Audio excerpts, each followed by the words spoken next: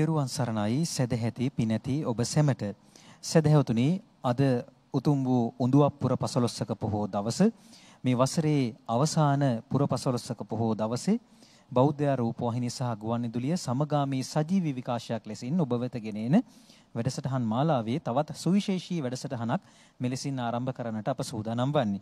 ඔබ දන්නවා මේ ගෙවි යන වසර අපිට ශ්‍රී ලාංකිකයන් හැටියට පමණක් නොවේ ලෝකවැසියන් හැටියට බොහෝ කරදර දුක් පීඩාවන්ට මුහුණ දෙන්නට වුණු වසරක්. ඉතින් මේ කොරෝනා වසංගත තත්ත්වය නිසාවෙන් ශ්‍රී ලාංකිකයන් හැටියට අපිත් බොහෝ දුෂ්කරතාවයන්ට මුහුණ දුන්නා. ඉතින් කෙසේ වෙතත් මේ වසංගතය ආශිර්වාදයක් කරගනිමින් එයින් නැවුම් වෙනසකට මුල පුරමින් බෞද්ධ මාධ්‍ය කාලාන්තරයකට ඉහතදී ඔබ වෙනුවෙන් ගෙන ආ මේ පොහෝදා සජීවී විකාශයේ වෙනසක් සිදු කරමින් අප මීට මාස කිහිපයකට පෙර හඳුන්වා දුන්නා පොහෝ දවසේ දෙහෝරාවක් පුරා ඔබට ශ්‍රවණය කරන්නට සුවිශේෂී සද්ධර්ම දේශනාවක්. ඒ තමයි මින් පෙර ශ්‍රී ලාංකේය මාධ්‍ය නාලිකාවක විකාශය නොවුණු යුගාසන සද්ධර්ම දේශනාවක් විකාශය කරන්නට අප කටයුතු කළා.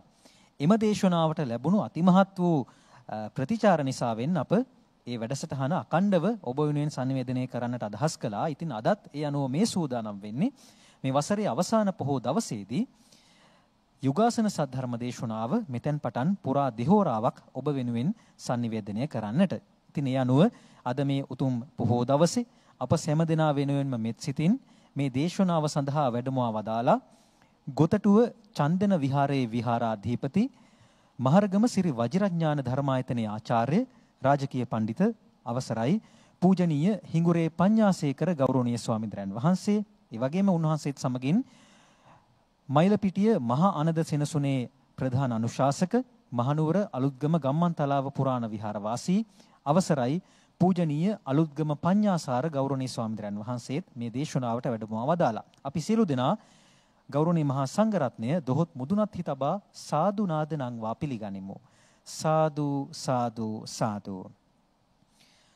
යුගාසන සද්ධර්ම දේශනාවට ස්වාමින්ද්‍රයන් වහන්සේලා දිනමක් වැඩම කළාseම මේ දේශනාව ලෝපුරා විසුරුවා හරින්නටත් දායකත්ව දෙපිරිසක් දායකත්වය ලබාගෙන කටයුතු කරනවා. ඒ අනුව මේ ස්ථානයට අද පැමිණිලා මේ ස්ථානයේ තැන්පත් වෙලා ඉන්නවා නිව්යෝර්ක්හි පදිංචි චාන්දනී සුදසිංහ මහත්මියගේ ප්‍රධානත්වයෙන් යුතුව කුමාරි පෙරේරා මහත්මිය, විරාණි දංගල්ල මහත්මිය, කිංස්ලි පෙරේරා මහතා සහ රුවින්දි සිල්වා මහත්මිය ඇතුළු පවුලේ සහෝදර සහෝදරියන් සහ දූපුතුන් පිරිස ඔවුන් එක් දායකත්වයක් ලබාගෙන කටයුතු කරනවා. ඒ වගේම සෑම පොහෝ දවසකම සජීවී වැඩසටහන් මාලාවේ දේශනාවක් සඳහා වැඩසටහනක් සඳහා Tamanගේ දායකත්වය ලබා දෙන අමෘතා සුවඳ හඳුන්කూరు නිෂ්පාදනය කර බෙදා හැරීම සිදු කරන සීමා සහිත ඩාලි බට්ලර් සහ සමාගමේ අධ්‍යක්ෂ සංජීව ගුණවර්ධන මහතා ප්‍රධානව ඒ කාර්ය මණ්ඩලයේ පිරිසත් මේ වැඩසටහනේ තවත් දායකත්වයක් ලබාගෙන කටයුතු කරනවා. ඉතින් මේ සීපත් කිරීමත් සමගින්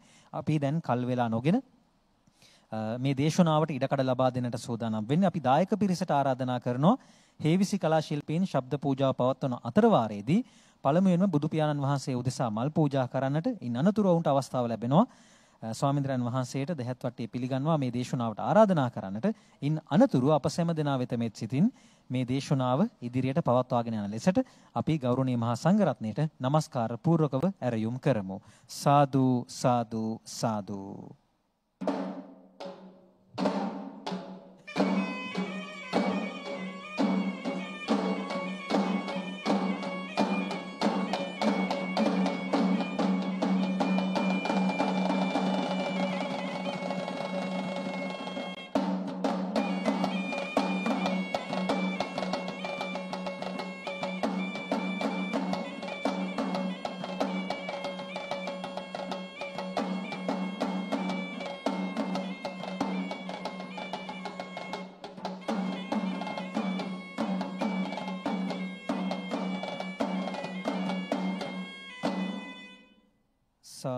සාදු සාදු. සාදු සමන්ත චක්කවාලේසු අත්‍රා ගච්ඡන්තු දේවතා. සද්ධම්මං මුනි රාජස්ස සුනන්තු සග්ග මොක්කදං ධම්මස්සවන කාලෝ අයං බදන්තා. ධම්මස්සවන කාලෝ අයං භදන්තා ධම්මස්සවන කාලෝ අයං භදන්තා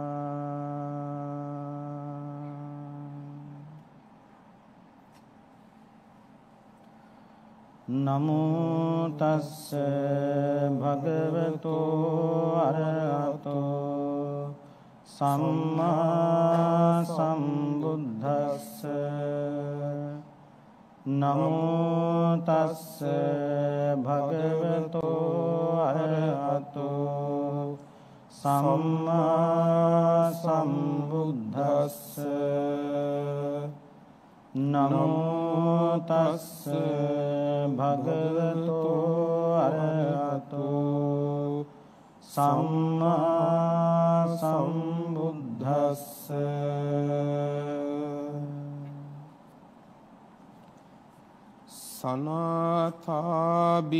සනාථාභික්කවේ විහරත මා අනාථා දුක්ඛං බික්කවේ අනාථෝ විහරති දස ඉමේ බික්කවේ නාත කරන ධම්මාති.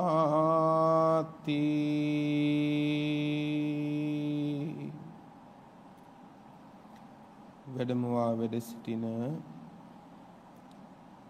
ගෞරවනීය නම කියන්නට අවසරයි. මේ හිඟුරේ පඤ්ඤාසේකර පණ්ඩිත හාමුදුරුවන් වහන්සේ ප්‍රධාන. පූජනීය මහා සංඝරත්නයන් අවසරයි. සද්ධර්ම ශ්‍රවණාබිලාෂී ශ්‍රද්ධා සම්පන්න සත්පුරුෂ පින්වතුනි. මේ උතුම් පොයේ දවසේ ධර්ම ගෞරවයෙන් සූදානම් වෙන්නේ මේ සන්ධ්‍යාවේ යුගාසන ධර්ම දේශනාව ශ්‍රවණය කිරීම සඳහා. අද දේශනාවේ මාතෘකාව ගිහි පැවිදි අපි කාටත් ඊ타ත්ම වැදගත් වෙන කාරණාවන් කීපයක්ම ඇතුළත් වෙන සූත්‍ර දේශනාවක්. මේ සූත්‍ර දේශනාව අපි මුලින්ම හඳුනා ගනිමු. පින්වත්නි සූත්‍ර පිටකයේ අංගුත්තර නිකායටයි මේ දේශනාව ඇතුළත්ව තිබෙන්නේ. දහම් කරුණු සංඛ්‍යාත්මකව සඳහන් වෙන දේශනා අංගුත්තර නිකායේ සංග්‍රහ වෙලා තිබෙන්නේ අංගුත්තර නිකායෙත් දහම් කරුණු ගණන අනුව වෙන් වෙන්ව නිපාත වශයෙන් වෙන් කරලා තිබෙනවා. දහම් කරුණු එකක පටන් දහම් කරුණු 11ක් දක්වා වූ සූත්‍ර දේශනාවන් වෙන් වෙන් වශයෙන්. එහි දසක නිපාතේ කියලා නිපාතයක් තියෙනවා. දහම් කරුණු 10ක් පිළිබඳව දේශනා කළ දේශනාවන් ඇතුළත් කොටස. මේ දසක නිපාතයේ නාථ වර්ගය කියලා පින්වත්නි වෙනමම වර්ගයක් තියෙනවා. සූත්‍ර එකතුවක්. එහි සඳහන් වෙන සූත්‍ර දේශනාවක් තමයි පඨම නාථ කරන කියන සූත්‍ර දේශනාව. සූත්‍ර පිටකයේ අංගුත්තර නිකායේ දසක නිපාතයේ නාත වර්ගයේ නාත කරන සූත්‍ර දේශනාවයි අද දවසේදී දේශනා කරන්නේ. තථාගත සම්මා සම්බුදුරජාණන් වහන්සේ මේ දේශනාව ආරම්භයේම අපිට අවවාදයක් කරනවා සනාතා භික්ඛවේ විහෙරත මා අනාථා මහණෙනි සනාථව වාසය කරව් අනාථව වාසය නොකරව් සනාත කියන වචනයට විරුද්ධ වචනේ තමයි අනාථ කියන වචනය.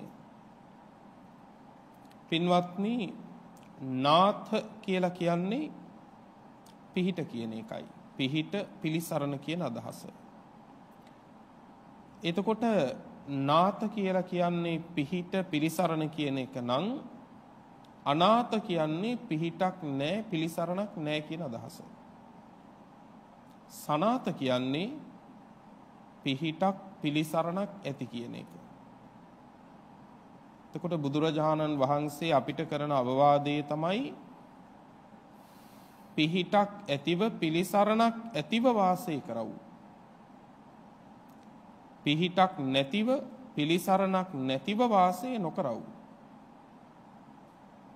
එතකොට මේ පිහිට පිලිසරණ කියන එක අවබෝධයෙන් සකස් නොවුනොත් පින්වත්නි එකක් ශාසනය තුල පිහිටන්න බැරි වෙනවා. සම්බුද්ධ ශාසනයකින් වැටෙනවා ගිලිහෙනවා පිනවා.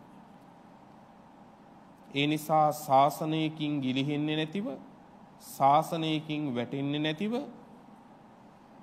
පිහිටක් පිලිසරණක් හදා ගැනීමට කරුණු තමයි පින්වත්නි මේ නාත කරන කියන සූත්‍ර දේශනාවේදී බුදුරජාණන් වහන්සේ දේශනා කරන්නේ.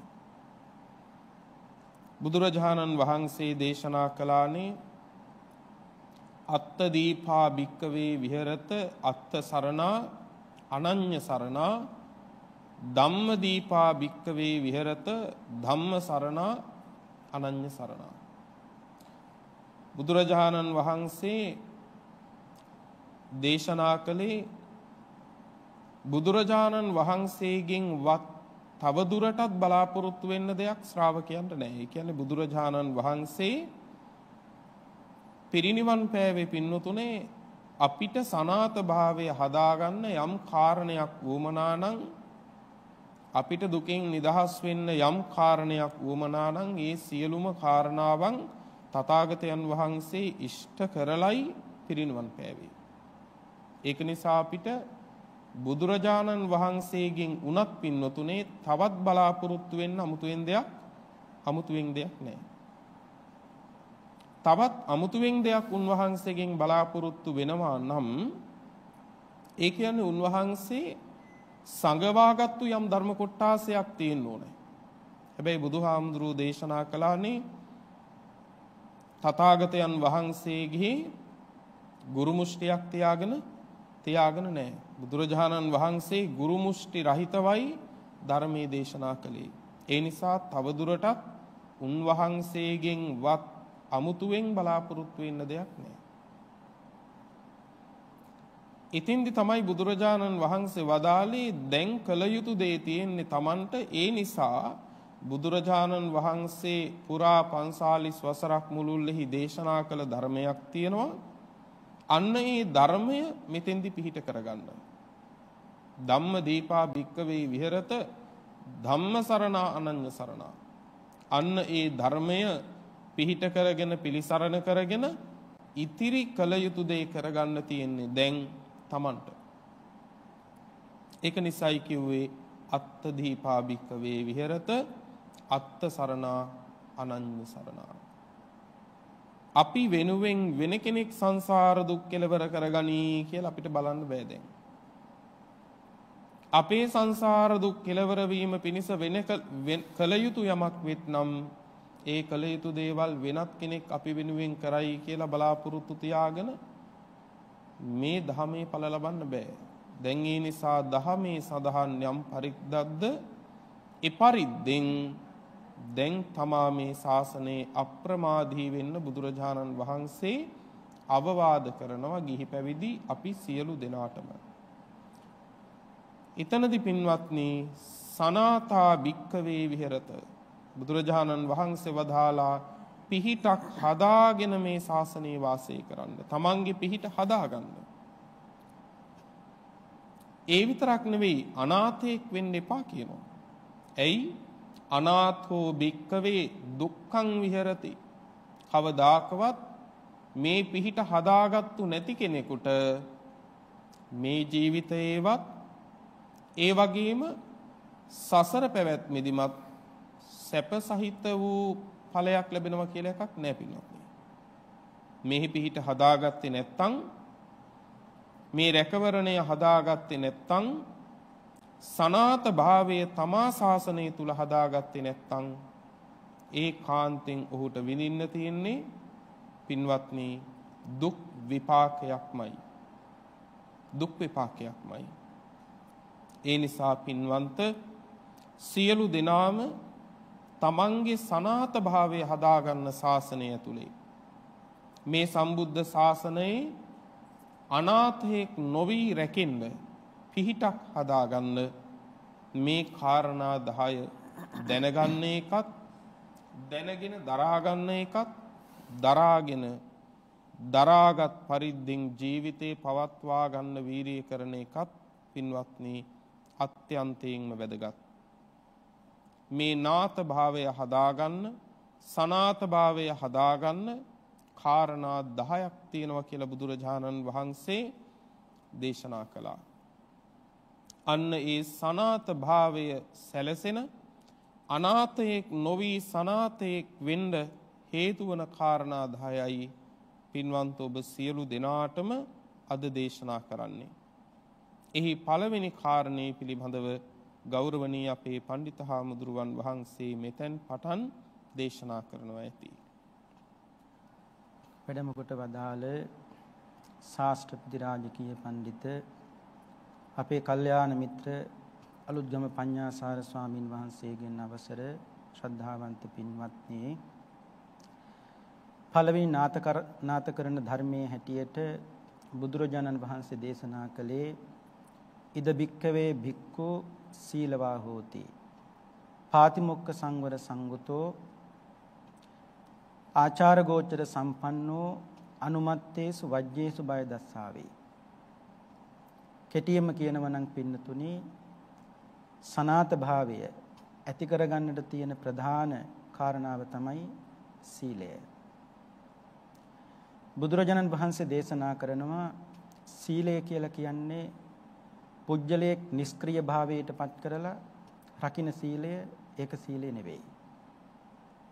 සීලය දකින්න පුළුවන්කම තියෙන්නේ සක්‍රීය පුජ්‍යලයක් තුලයි. පින්නතුනි අපි නිකන් ඉන්නකම් කොහොමත් හොඳයි. අපි වාඩි වෙලා ඉන්නකම් කොහොමත් හොඳයි. නමුත් අපි සමාජයත් එක්ක වැඩ කරනවනේ. මිනිසුත් එක්ක වැඩ කරනකොට තමයි අපේ දුර්ලකම් මතුවෙන්නේ. අනේ දුර්ලකම් මතුවෙන්නේ යම් තැනකද එතන තමයි තියෙන්න ඕනේ සීලය. මේකේ වාඩිලා බණක් අහන එක ධර්මශාලාවක වාඩිලා සිල් ගන්න එක ඒක හොඳ නෑ කියන එක නෙවෙයි. අපි නිෂ්ක්‍රීය භාවයේ තියෙනකන් අපි කොහොමත් හොඳයි. සක්‍රීය පුජ්‍යලයක් තුළ තමයි සීලේ මනාව දකින්න පුළුවන්කම තියෙන්නේ. දැන් අද රහසක් නෙවෙයිනේ. බණකින් පස්සේ අනිවාර්යෙන් ක්‍රිප් එකක් ටිකක් කේක් කෑල්ලක් හම්බ වෙනවාමයි. ඒක ගිහිල්ලා පොලිමකට පිළිවෙලකට ගන්න බැරි නම් එතන සීලේ නෑ. එකක් දෙනකොට දෙකක් ගන්නව නම් දෙකක් දෙනකොට තුනක් ඉල්ලනව නම් එතන සීලේ නෑ. දැන් මේ යන්නේ කවුද? පැයක් හොඳට බණ අහලා වාඩි වෙලා හිටපුවා යන්නේ. එතකොට අපි වාඩි වෙලා ඉන්නකම් ධර්මශාලාවේ ඒ පැය තුල අපි කොහොමද හොඳයි. නමුත් අර සක්‍රීය භාවය ඇති වෙනවනේ. ආන් එතන ඒක පොලිමට ගිහිල්ලා පිළිවෙල ගන්න බැරි නම් එතන සීලේ නෑ පින්නතුනේ. ඒකයි කිව්වේ නිෂ්ක්‍රීය පුජ්‍යලයක් තුල නෙවෙයි සීලය දකින්න පුළුවන්.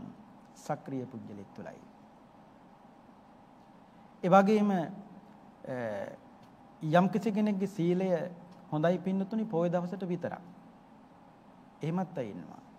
ඒකට සමහරු කියන්නේ මම පොය දා නිසා කටපියන් ඉන්නේ කියලා. වෙන දවසක් වුණා නම් බලන්න තිබ්බ වෙන දේ. ඒ කියන්නේ යාගේ සීලයක් හොඳයි පොය දවසට විතරක්. ඒකත් සීලය නෙවෙයි. අනිත් දවස් 29ම මාසේ ඒ ඇත්ත ගත කරන්නේ සාමාන්‍ය ජීවිතේ. ඉතින් බුදුහාමුදුරුවෝ බුදුරජාන් වහන්සේ මේදී විශේෂයෙන් දේශනා කරනවා සනාතා භික්කවේ විහෙරත ඒ කියන්නේ සීලයක පිහිටා සීලයේ තුල තමන්ගේ ජීවිතවලට පිහිටක් එහෙම නැත්නම් පිළිසරණක් පින්නතුනි හදාගත යුතුමයි. සීලේ බුදුරජාණන් වහන්සේ කොටස් තුනකට බෙදුවා. එකක් තමයි අත්තාධිපතයේ සීලය.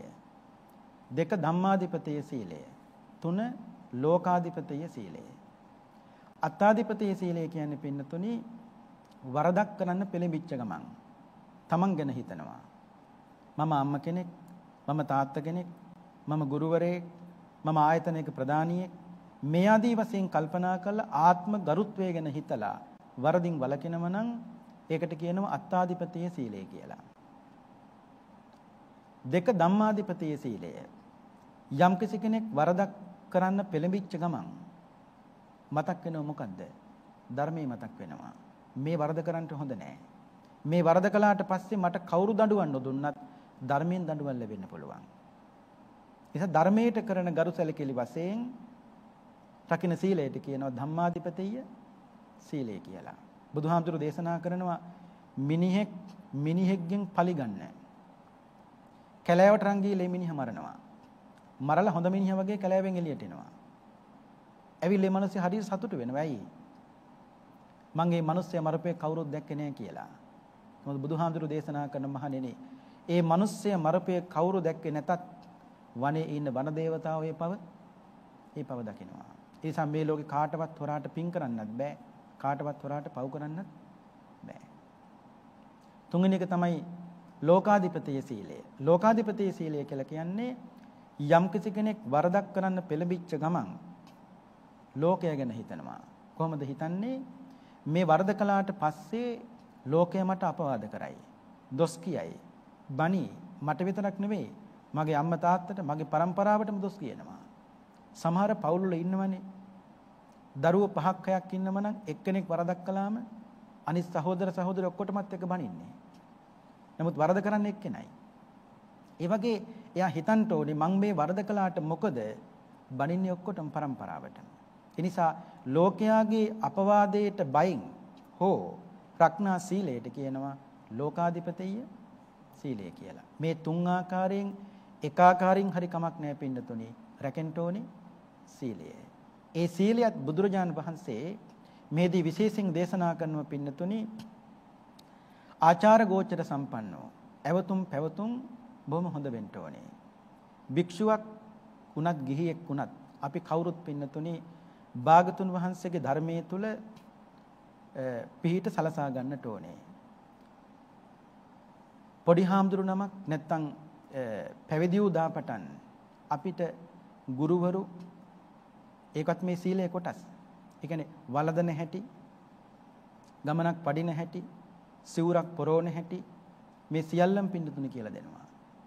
ඉස්සර අපිට මතකයි අපේ මහරගම ශ්‍රී වජිරඥාන ධර්මායතනයේ වැඩ ඉන්න කාලේ අම්පිටි ශ්‍රී රාහු ලොකු හාමුදුරුවන් වහන්සේ මතක් කරනවා කිරි ආදී වළඳනකොට හැන්දවත් කප් එකේ වද්දන්න එපා කියලා.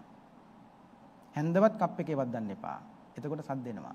හිතන්නකෝ නිකන් 15 නමක් 20 නමක් දානේ වළඳන තැනක එක එක පාරට මොනතරම් සද්දයක් එනවද කියලා. මම ඒ වගේ වරදක්වත් කරන්න එපා සංවර වෙන්න ඕනේ. ඇවතුම් පැවතුම් හොඳ වෙන්න ඕනේ. ඉතින් ඒ විදිහටයි බුදුරජාණන් වහන්සේ අපිට ඉගැන්වුවේ. අනිත් එක මෙතෙන්දී බුදුහාමුදුරු දේශනා කරනවා අනුමත්තේසු වජ්ජේසු බය දස්සාවේ. පුංචි හෝ වරදෙහි පවා පින්නතුනි බිය දකින්න පුජ්‍යලෙක් බවට පත් වෙන්න ඕනේ. මේකට බොහොම ලස්සන සූත්‍රයක් තියෙනවා පින්නතුන් අහලා ඇති සංයුත්ත නිකායේ පදුම පුප්පිය කියලා සූත්‍රයක්. මේ සූත්‍රයේ පදුම කියලා කියන්නේ මේ පදුම හාමුදුරන්ගේ නම උන්වහන්සේ නෙළුම් මලක් වගේ බොහොම ලස්සනයි. දවසක් මේ පදුම හාමුදුරුව කැලෑවට වැඩිය භාවනා කරන්න. භාවනා කළ අවසන් වෙලා උන්වහන්සේ කැලේ ඇවිදිනකොට උන්වහන්සේ දැක්කා බොහොම ලස්සන විලක් තියෙනවා. පදුමහාමුදුරන්ට හිතුණු මේ විලට බහැලා වතුර ටිකක් නා ගන්න ඕනේ කියලා. පදුමහාදුර විලට බැස්ස නාන්න. මලොත් හොඳට පිපිලා.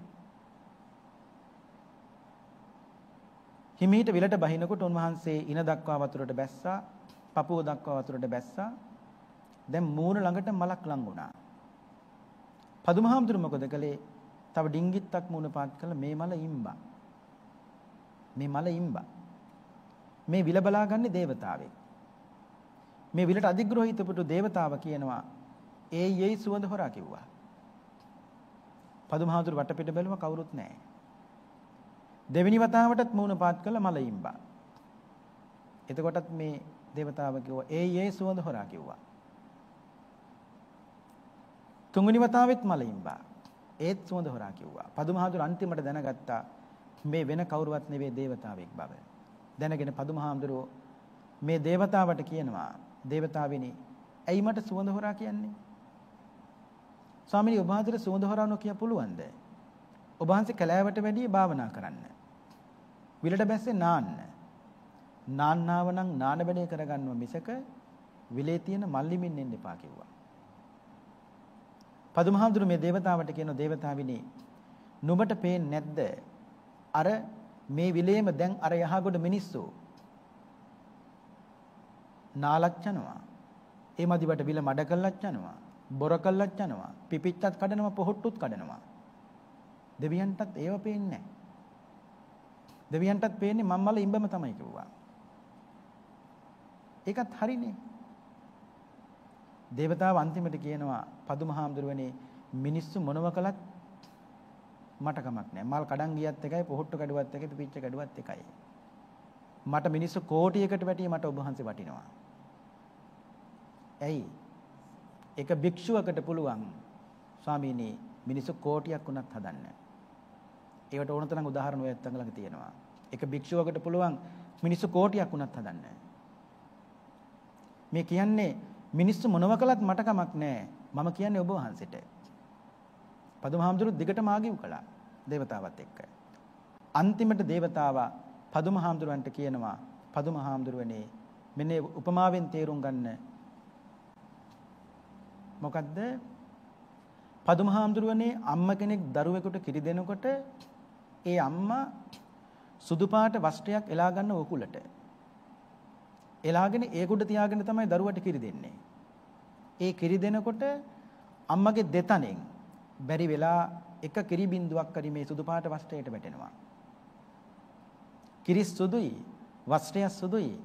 කිරි කොච්චර සුදු වුණත් පුංචි පැල්ලමක් හිටිනවාමයි.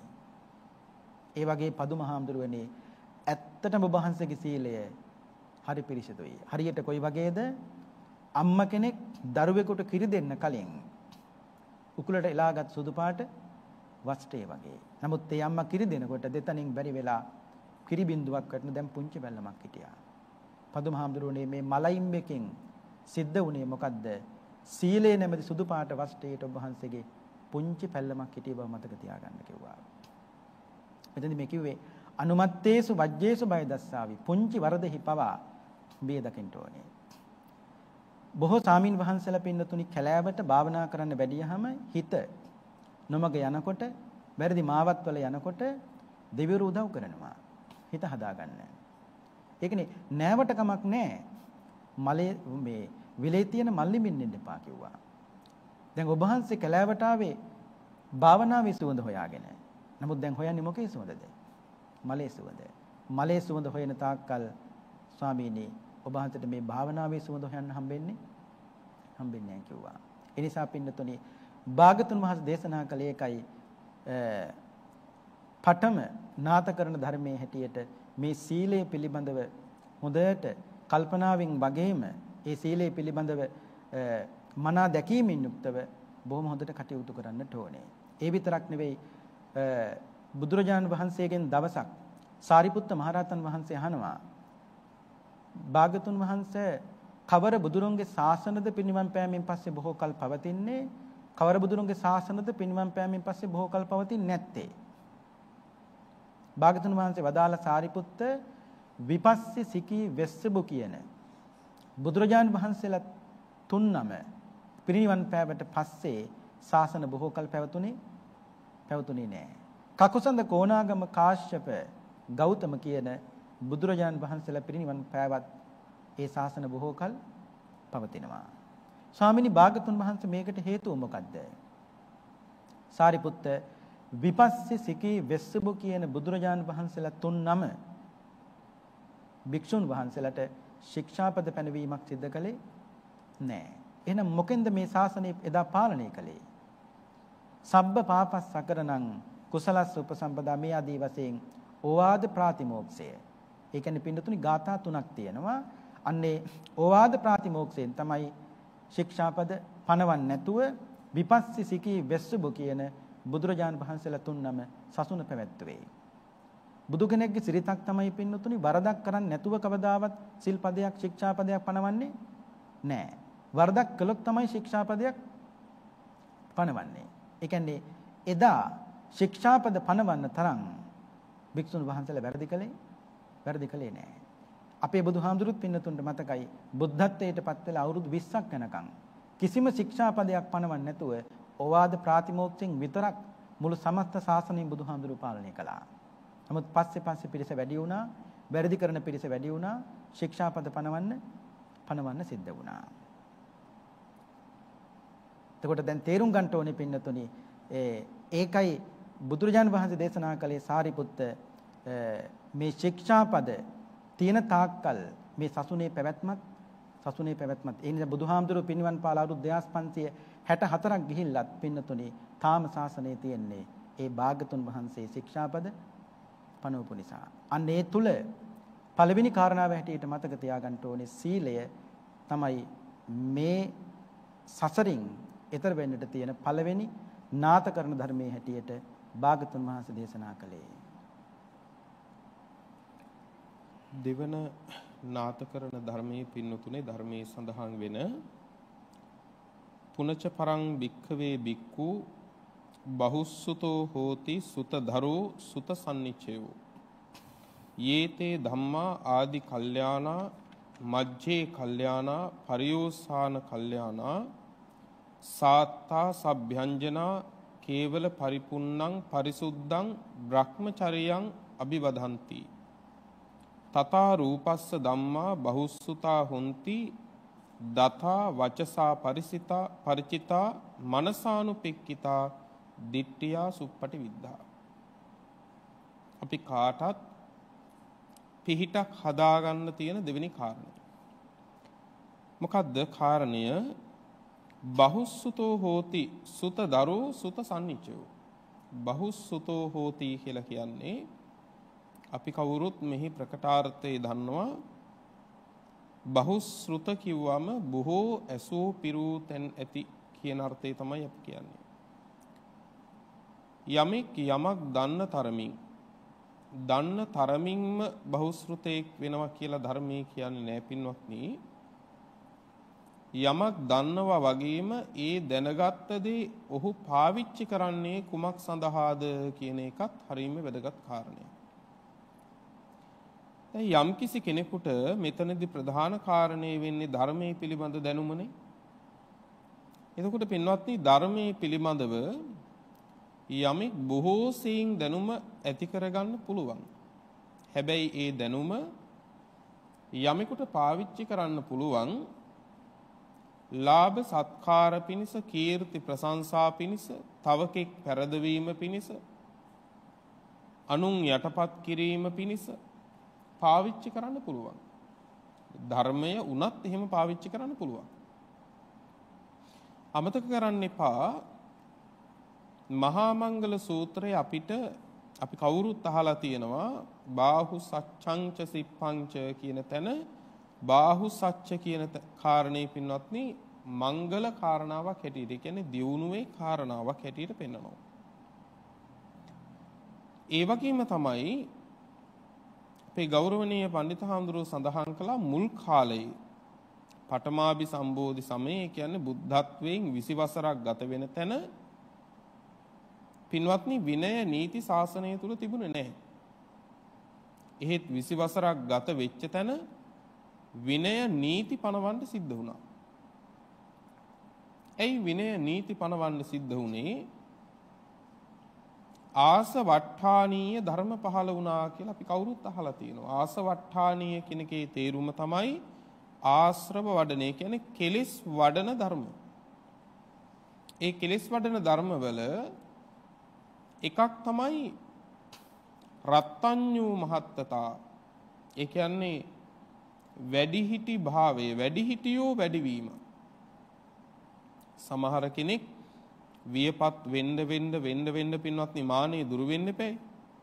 නමුත් වියපත් වෙන්න වෙන්න මානෙ වැඩි වෙන අවස්ථාවක් තියෙනවා. ඒකනේ අහන්නේ උඹලා දන්නේ මොනවද කියලා අහන්නේ. ටිකක් වයසින් මුහුකුරා ගියපුවාම ලාභාලයන්ගෙන් වචනවලට ඇහුම්කම් දෙන්නේ නැහැ. ඇයි? ඒ වෘද්ධ භාවය තමන්ව සංයමයටපත් කරලා නැහැ. ඒ තුලත් මානයක් වැඩිලා. ඊළඟට තව එකක් තමයි ලාභ සත්කාර මහත්තතා. ලාභ සත්කාර වැඩිවීම. මේ වගේ කාරණා අතර එකක් තියෙනවා. බාහු සච්ච මහත්තතා. බාහු සච්ච මහත්තතා. බාහු සච්ච මහත්තතා කියලා කියන්නේ දැන උගත්තු වැඩි වුණා.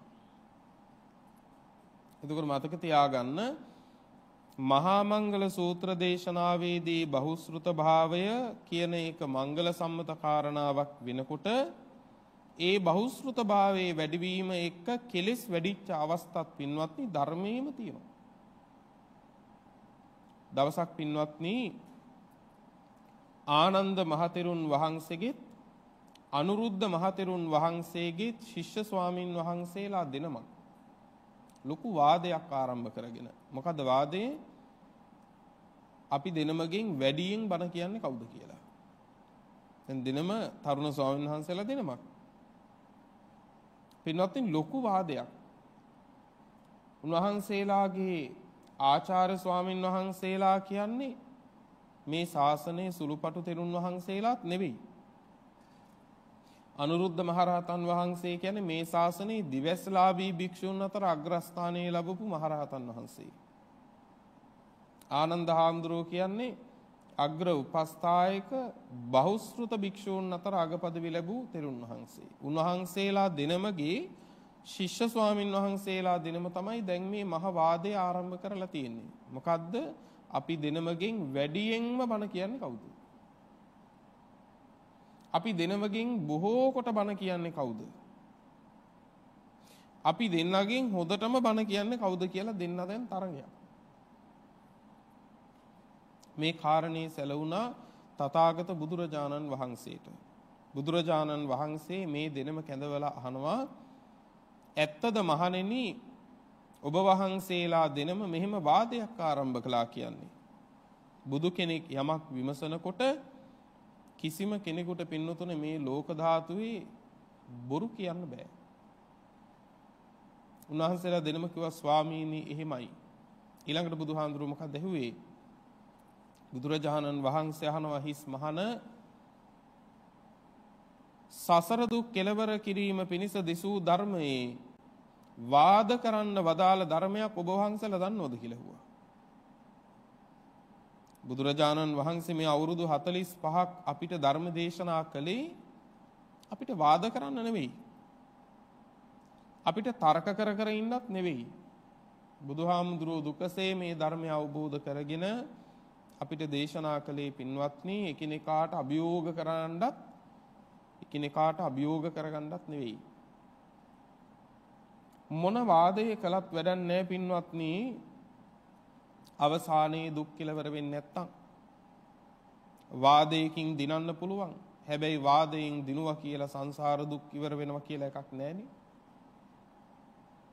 අභියෝග කරන්න පුළුවන්. ඒ අභියෝගයෙන් අනිකා පරද්දලා Taman දිනුවා කියලා උතුම් අරහත් ඵලයේ සාක්ෂාත් වෙනවා කියලා එකක් වෙන්නේ ඒ නිසා ධර්මයේ තියෙන්නේ පින්වත්නි වාද කරන්න විවාද කරන්න තර්ක කරන්න Tamanට ආදායම උපයන්න නෙවෙයි ධර්මයේ තියෙන්නෙම පින්නතුනේ සංසාර දුකකින් ගැලවෙන්න. අන්න ඒ සඳහා ඇති දහම් දැනුම පාවිච්චි වෙන්නේ නැත්තම් ඒක බහුශෘත භාවයේද? ඒක බහුශෘත භාවයේ වෙන්නේ ඒ නිසා ධර්මය බොහෝ සෙයින් දැනගන්නවා කියන එක විතරක් නෙවෙයි බොහෝ සෙයින් ඒ දැනගත්තු ධර්මයේ පාවිච්චි වෙන්නේ කුමක් සඳහාද කියන එකත් හොඳ නුවණින් විමසලා බලන්න ඕනේ. ඒකයි මේ කියන්නේ යේතේ ධම්මා ආදි කල්යාණා මජ්ජේ කල්යාණා පරියෝසාන කල්යාණා සාත්තා සබ්භ්‍යංජනා කේවල පරිපුන්නං පරිසුද්ධං බ්‍රහ්මචරියං අභිවදಂತಿ. තමන් ධර්මය දැනගන්නවා ඒ වගේම බොහෝ කොට ධර්ම කාරණාවන් ඉගෙන ගන්නවා ඒ සියල්ල මතකයේ රඳව ගන්නවා විතරක් නෙවෙයි දරාගත්තු පරිද්දෙන්ම පින්වත්නි මුලත් මැදත් අගත් පිරිසිදු වූ ධර්මය පිරිසිදු වූ බ්‍රහ්මචර්යාව අනුන්ටත් කියලා දෙනවා. අනුන්ටත් දේශනා කරනවා.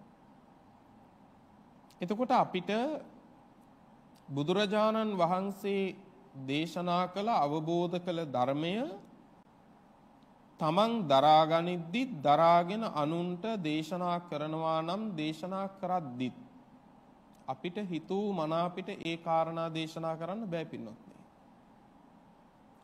මොකද බුදුරජාණන් වහන්සේ තමයි මේ ධර්මයේ ඊශ්වර වෙන්නේ.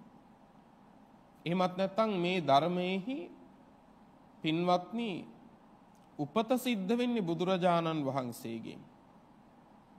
බුදු කෙනෙක්ගෙන්මයි මේ ධර්මයේ පහළ වෙන්නේ. ඒ නිසා අපිට දේශනා කරනවා නම් දේශනා කරන්න පුළුවන් වෙන්නේ පින්නතුනේ යථා සුතං යථා පරියත්තං විත්තාරේන පරේසං දේශේති. ඇසුවේ යම් ලෙසකින්ද අසාගෙන දරාගෙන පුරුදු කළේ යම් ලෙසකින්ද ඒ පරිද්දෙන්ම තමයි පින්නතුනේ අනුන්ට කියලා දෙන්නත් පුළුවන්. ඇසුවේ යම් ලෙසකින්ද තමන්ට උවමනා උවමනා පරිද්දෙන් පින්නතුනේ විවරණය කරලා ධර්මයේ දේශනා කරන්න අපිට අයිතියක් අපිට අයිතියක් නැහැ පින්වත්නි. ඒ නිසා හොඳින් මතක තියාගන්න ගිහි පැවිදි අපි සියලු දෙනාම පින්වත්නි ධර්මය පිළිබඳව දැනුවත් වෙන්න ඕන ධර්මය පිළිබඳව දැනුවත් වෙනවා වගේම ඒ ධර්මය දුක් කෙලවර කිරීම පිණිසම පින්වත්නි ක්‍රියාවට නගන්නත් ඕන වෙන දෙයකට නෙවෙයි.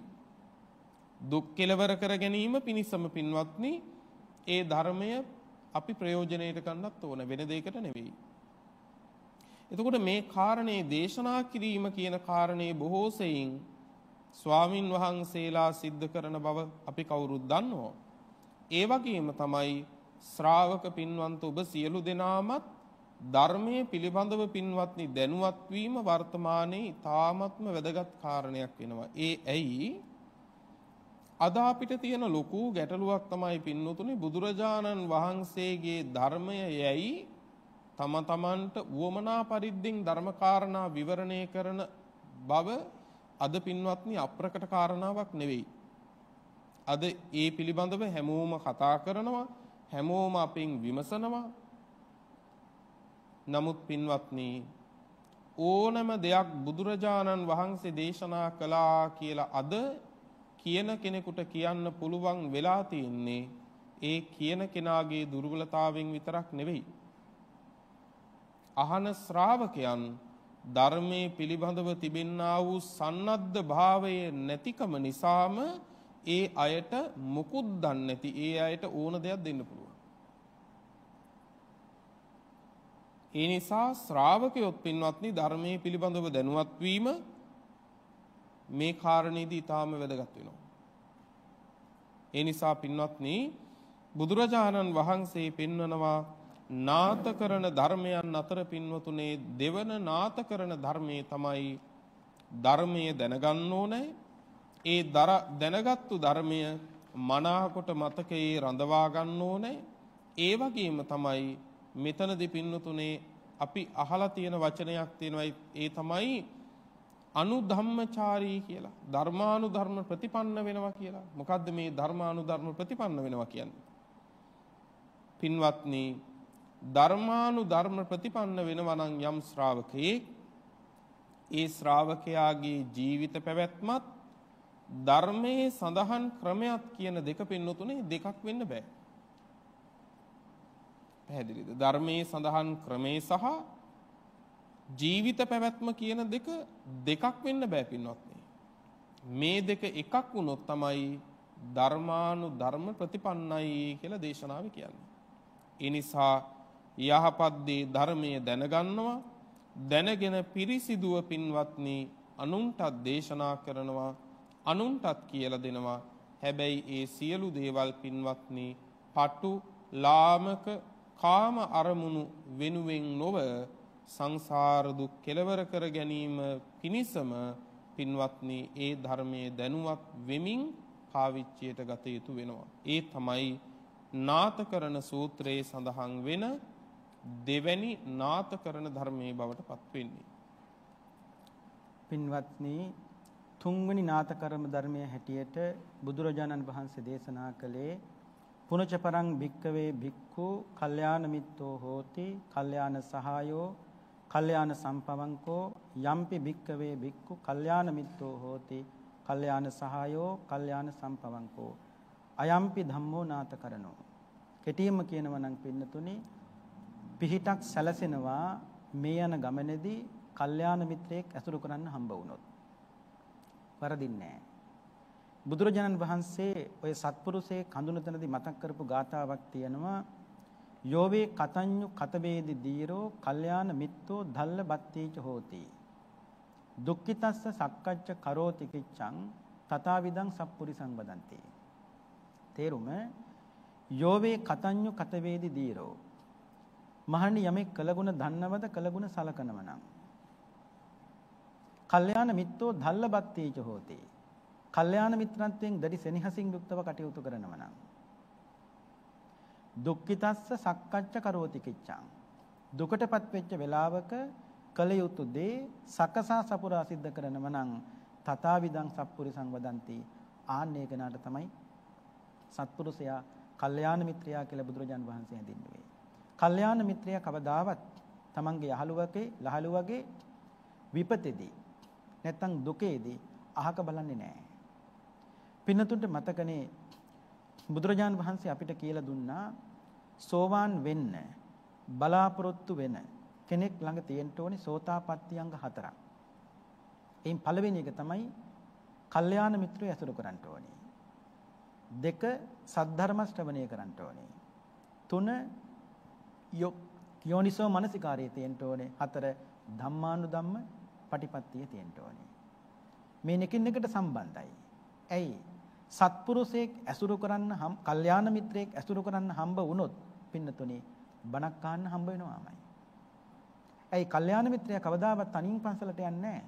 යාළුවත් ඇදගෙනම තමයි යන්නේ. යන් බණක් තියෙනවා. දැන් නාලිකාවගේ බණක් ගියත් හතර වටේටම කෝල් කරලා කියනවා. කල්යාණ මිත්‍රයන්ට. ඒ කල්යාණ මිත්‍රත්වය. ඇයි? මං විතරක් නෙවෙයි මගේ යහළුවත් අරගෙන මේ ගමන යන්න ඕනේ. එතකොට බණක් ඇහුවොත් සද්ධර්ම ශ්‍රවණය කළොත් යෝනිසෝ මනසිකාර්ය අනිවාර්යෙන් ඒ ධර්මයේ නුවණින් මෙනෙහි කරනවා.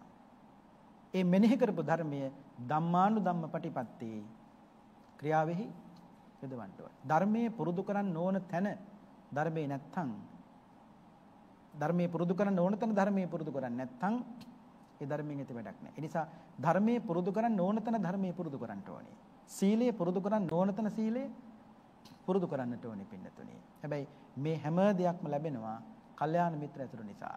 බුදුරජාණන් වහන්සේ දේශනා කරනවා කල්යාණ මිත්තතා කියලා. සූත්‍රයක් තියෙනවා. මහණෙනි කරුණු හතකින් යුක්ත වෙනවා නම් ඒ භික්ෂුව කවදාවත් පිරෙන්නේ නැහැ කිව්වා. පළවෙනි එක තමයි බුදුහාමුදුරුවෝ කෙරෙහි ගෞරවය තියෙන්න ඕනේ. දෙක ධර්මයේ කෙරෙහි ගෞරවය තියෙන්න ඕනේ. තුන සංඝයා කෙරෙහි ගෞරවය තියෙන්න ඕනේ. හතර ශික්ෂාපද කෙරෙහි ගෞරවය තියෙන්න ඕනේ. පහ සමාධිය කෙරෙහි ගෞරවය තියෙන්න ඕනේ. හය කීකරු බව කෙරෙහි. කියන්නේ අවවාද කෙරෙහි කීකරු බව තියෙන්න ඕනේ. ඒකට නැමෙන්න ඕනේ. ඊට පස්සේ අන්තිම එක තමයි කල්යාණ මිත්‍රයන් ඇසුරු කරන්න ඕනේ.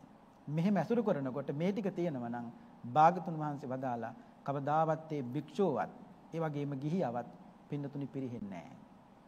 අපේ බුදුරජාන් වහන්සේටත් හොඳ සත්පුරුෂ කල්යාණ මිත්‍ර කාන්තාවක් ලැබුණු නිසායි පින්නතුනි ඊතා ඉක්මනට සම්මා සම්බුද්ධත්වයට පත් වෙන්නත් පුළුවන්කම ලැබුණේ. යශෝදරාවක් වෙනි සත්පුරුෂ කාන්තාවක් ලැබුණ නිසා.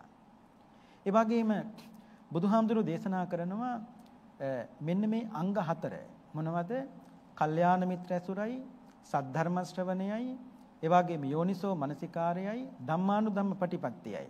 මේ කරුණු හතර පුරුදු කරනකොට ආර්ය අෂ්ටාංගික මාර්ගයේ පින්නතුනේ අංග අංග පහක් දිනු වෙනවා. ඒ මොනවද? බුදුහාමුදුරු දේශනා කරනවා සම්මා දිට්ඨි, සම්මා සංකප්ප, සම්මා වාචා, සම්මා කම්මන්ත සහ සම්මා ආජීව. එතකොට කල්යාණ මිත්‍ර ඇසුර නිසා ලැබෙන්නේ මොකද්ද? සෝවාන් වෙන්න අවශ්‍ය කරන පසුබිම. බොහෝම හොඳට සැකසෙනවා. කල්යාණ මිත්‍ර ඇසුර නිසා සෝවාන් වෙන්න අවශ්‍ය කරන පසුබිම සැකසෙනවා. ඊට පස්සේ සද්ධර්ම ශ්‍රවණය නිසා සද්ධර්ම ශ්‍රවණය නිසා බුදුහාමුදුරු දේශනා කරනවා සම්මා සම්මා දිට්ඨිය ඇති වෙනවා. ඒ සම්මා දිට්ඨිය තුල ඒ පුජ්‍යලයට පුළුවන්කම තියෙනවා කුමක් නැති කරන්නද? සක්කාය සක්කාය දිට්ඨි නැති කරන්න පුළුවන්කම තියෙනවා. ඒ කියන්නේ කල්යාණ මිත්‍රයෙක් ඇසුරු කළොත් සෝවාන් වෙන්න අවශ්‍ය කරන අංග හතරේ පළවෙනි එකනේ බුදුහාමුදුරු දේශනා කළේ. එතකොට කල්යාණ මිත්‍ර ඇසුරු කිරීම නිසා සෝවාන් වෙන්න අවශ්‍ය කරන පසුබිම සැකසෙනවා. ඒ කල්යාණ මිත්‍ර නිසා බණක් අහන් ලැබුණාම මොකද නැති වෙන්නේ? ඇති වෙන්නේ. සම්මා දිට්ඨිය ඇති වෙනවා. ඒ සද්ධර්ම ශ්‍රවණයනේ. සද්ධර්ම ශ්‍රවණයෙන් සම්මා දිට්ඨිය ඇති වෙනවා. ඒ සම්මා දිට්ඨිය තුළ සක්කාය දිට්ඨිය දුරු කරගන්න පුළුවන්කම තියෙනවා. ඊට පස්සේ තුන්වෙනි තමයි යෝනිසෝ මනසිකාරය. යෝනිසෝ මනසිකාරය තුළින් සම්මා සංකප්ප දියුණු කරගන්න පුළුවන් වෙන අතර එයින් පින්නතුනි විචිකිච්ඡාව දුරු කරගන්න පුළුවන්කම තියෙනවා. ඊට පස්සේ බුදුහාර දේශනා කරනවා ධම්මානුධම්ම පටිපත්ති නැත්නම් ඒ ධර්මය ක්‍රියාවෙහි යොදවන්න ඕනේ. ඒ යොදවීම තුළ භාගතුන් වහන්සේ දේශනා කරනවා සම්මා වාචා සම්මා කම්මන්ත සම්මා ආජීව කියන මේ මාර්ගාංගයන් වැඩෙනා වගේම එයාට දැන් පුළුවන්කම තියෙන කුමක් නැති කරන්නද? සීලබ්බත පරාමාස. ඒ සංගෝජන නැති කරන්න පුළුවන්කම තියෙනවා. දැන් මේ පුජ්‍යලයා කවුද? මේ පුජ්‍යලයා සෝවාන් පුජ්‍යලයේ. එතකොට සෝවාන් වෙන්න පුළුවන්කම ලැබුණේ කවුරු නිසාද? කල්යාණ මිත්‍ර නිසා. ඒ කල්යාණ මිත්‍ර නිසා බලන්නකො බුදුහාමුදුරු දේශනා කළේ නාත සනාත භාවය ඇති වෙනවා. ඒ සනාත භාවයේ තුල ඒ පුජ්‍යලයා මේ ශාසනයේ සෑහෙන දුරකට පින්නතුනි ඉදිරියටම ගමන් කරනවා. භාගතුන් මාසේ දේශනා කළානේ අංගුත්තර නිකායේ සෝතානු දත කියලා සූත්‍රයක්. එදී බුදුහාමුදුරු දේශනා කළේ manuss ලෝකෙදි පින්කම් කරන බණහන කෙනාට ආරක්ෂාව සැලසෙනවා. ඒ ක්‍රම හතරක් තියෙනවා. ඒ ක්‍රම හතරෙදී ඔය හතරවෙනි කොටසේදී බුදුහාමුදුරු දේශනා කරනවා මහණෙනි manuss ලෝක මිනිස්සු හොඳට පින් කරනවා. හොඳට බණ අහනවා. හැබැයි මේ කොච්චර බණ ඇහුවත් පින්කම් කළත් අවසාන මොහොතේ මරණාසන්න මොහොත වෙනකොට ඒක බණපදයක්වත් මතක් වෙන්නේ නැහැ. 80න් සීමුලා වෙලා මරණයටපත් වෙනවා. ගිහිල්ලා කොයිද උපදින්නේ? අන්නතර දේවනිකායක. එක්ක වස්සවලාක දෙවියෙක් හරි සීතවලාක දෙවියෙක් හරි මුන්නවලාක දෙවියෙක් හරි මේ ආදී වශයෙන් උපදිනවා. දැන් කොහොමද රැකවරණය සැලසෙන්නේ? බුදුහාමුදුරු දේශනා කරනවා මහණෙනි තමන් එක්ක manuss ලෝකෙදි එකට පින් කරගත්තෝ පින්කම් කරපු කල්යාණ මිත්‍රයෝ දිවි ලෝකෙත් එකටම එකට මුණ ගැහෙනවා.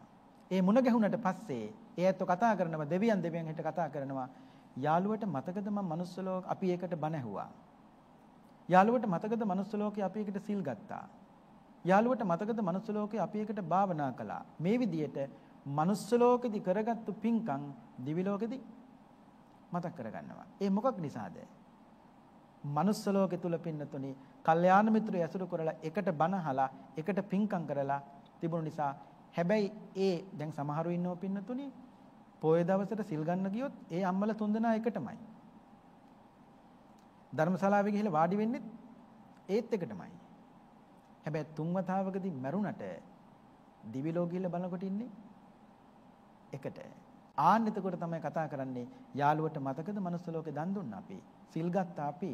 භාවනා කළා අපි. ඒ විදිහට මනුස්ස ලෝකෙදි කරගත්තු පින්කම් දිවි ලෝකෙදි මතක් කරගෙන එතනින්ම ධර්මය අවබෝධ කරගෙන එතනින්ම සුගතිගාමි තත්වයට තත්වයටපත් වෙනවා.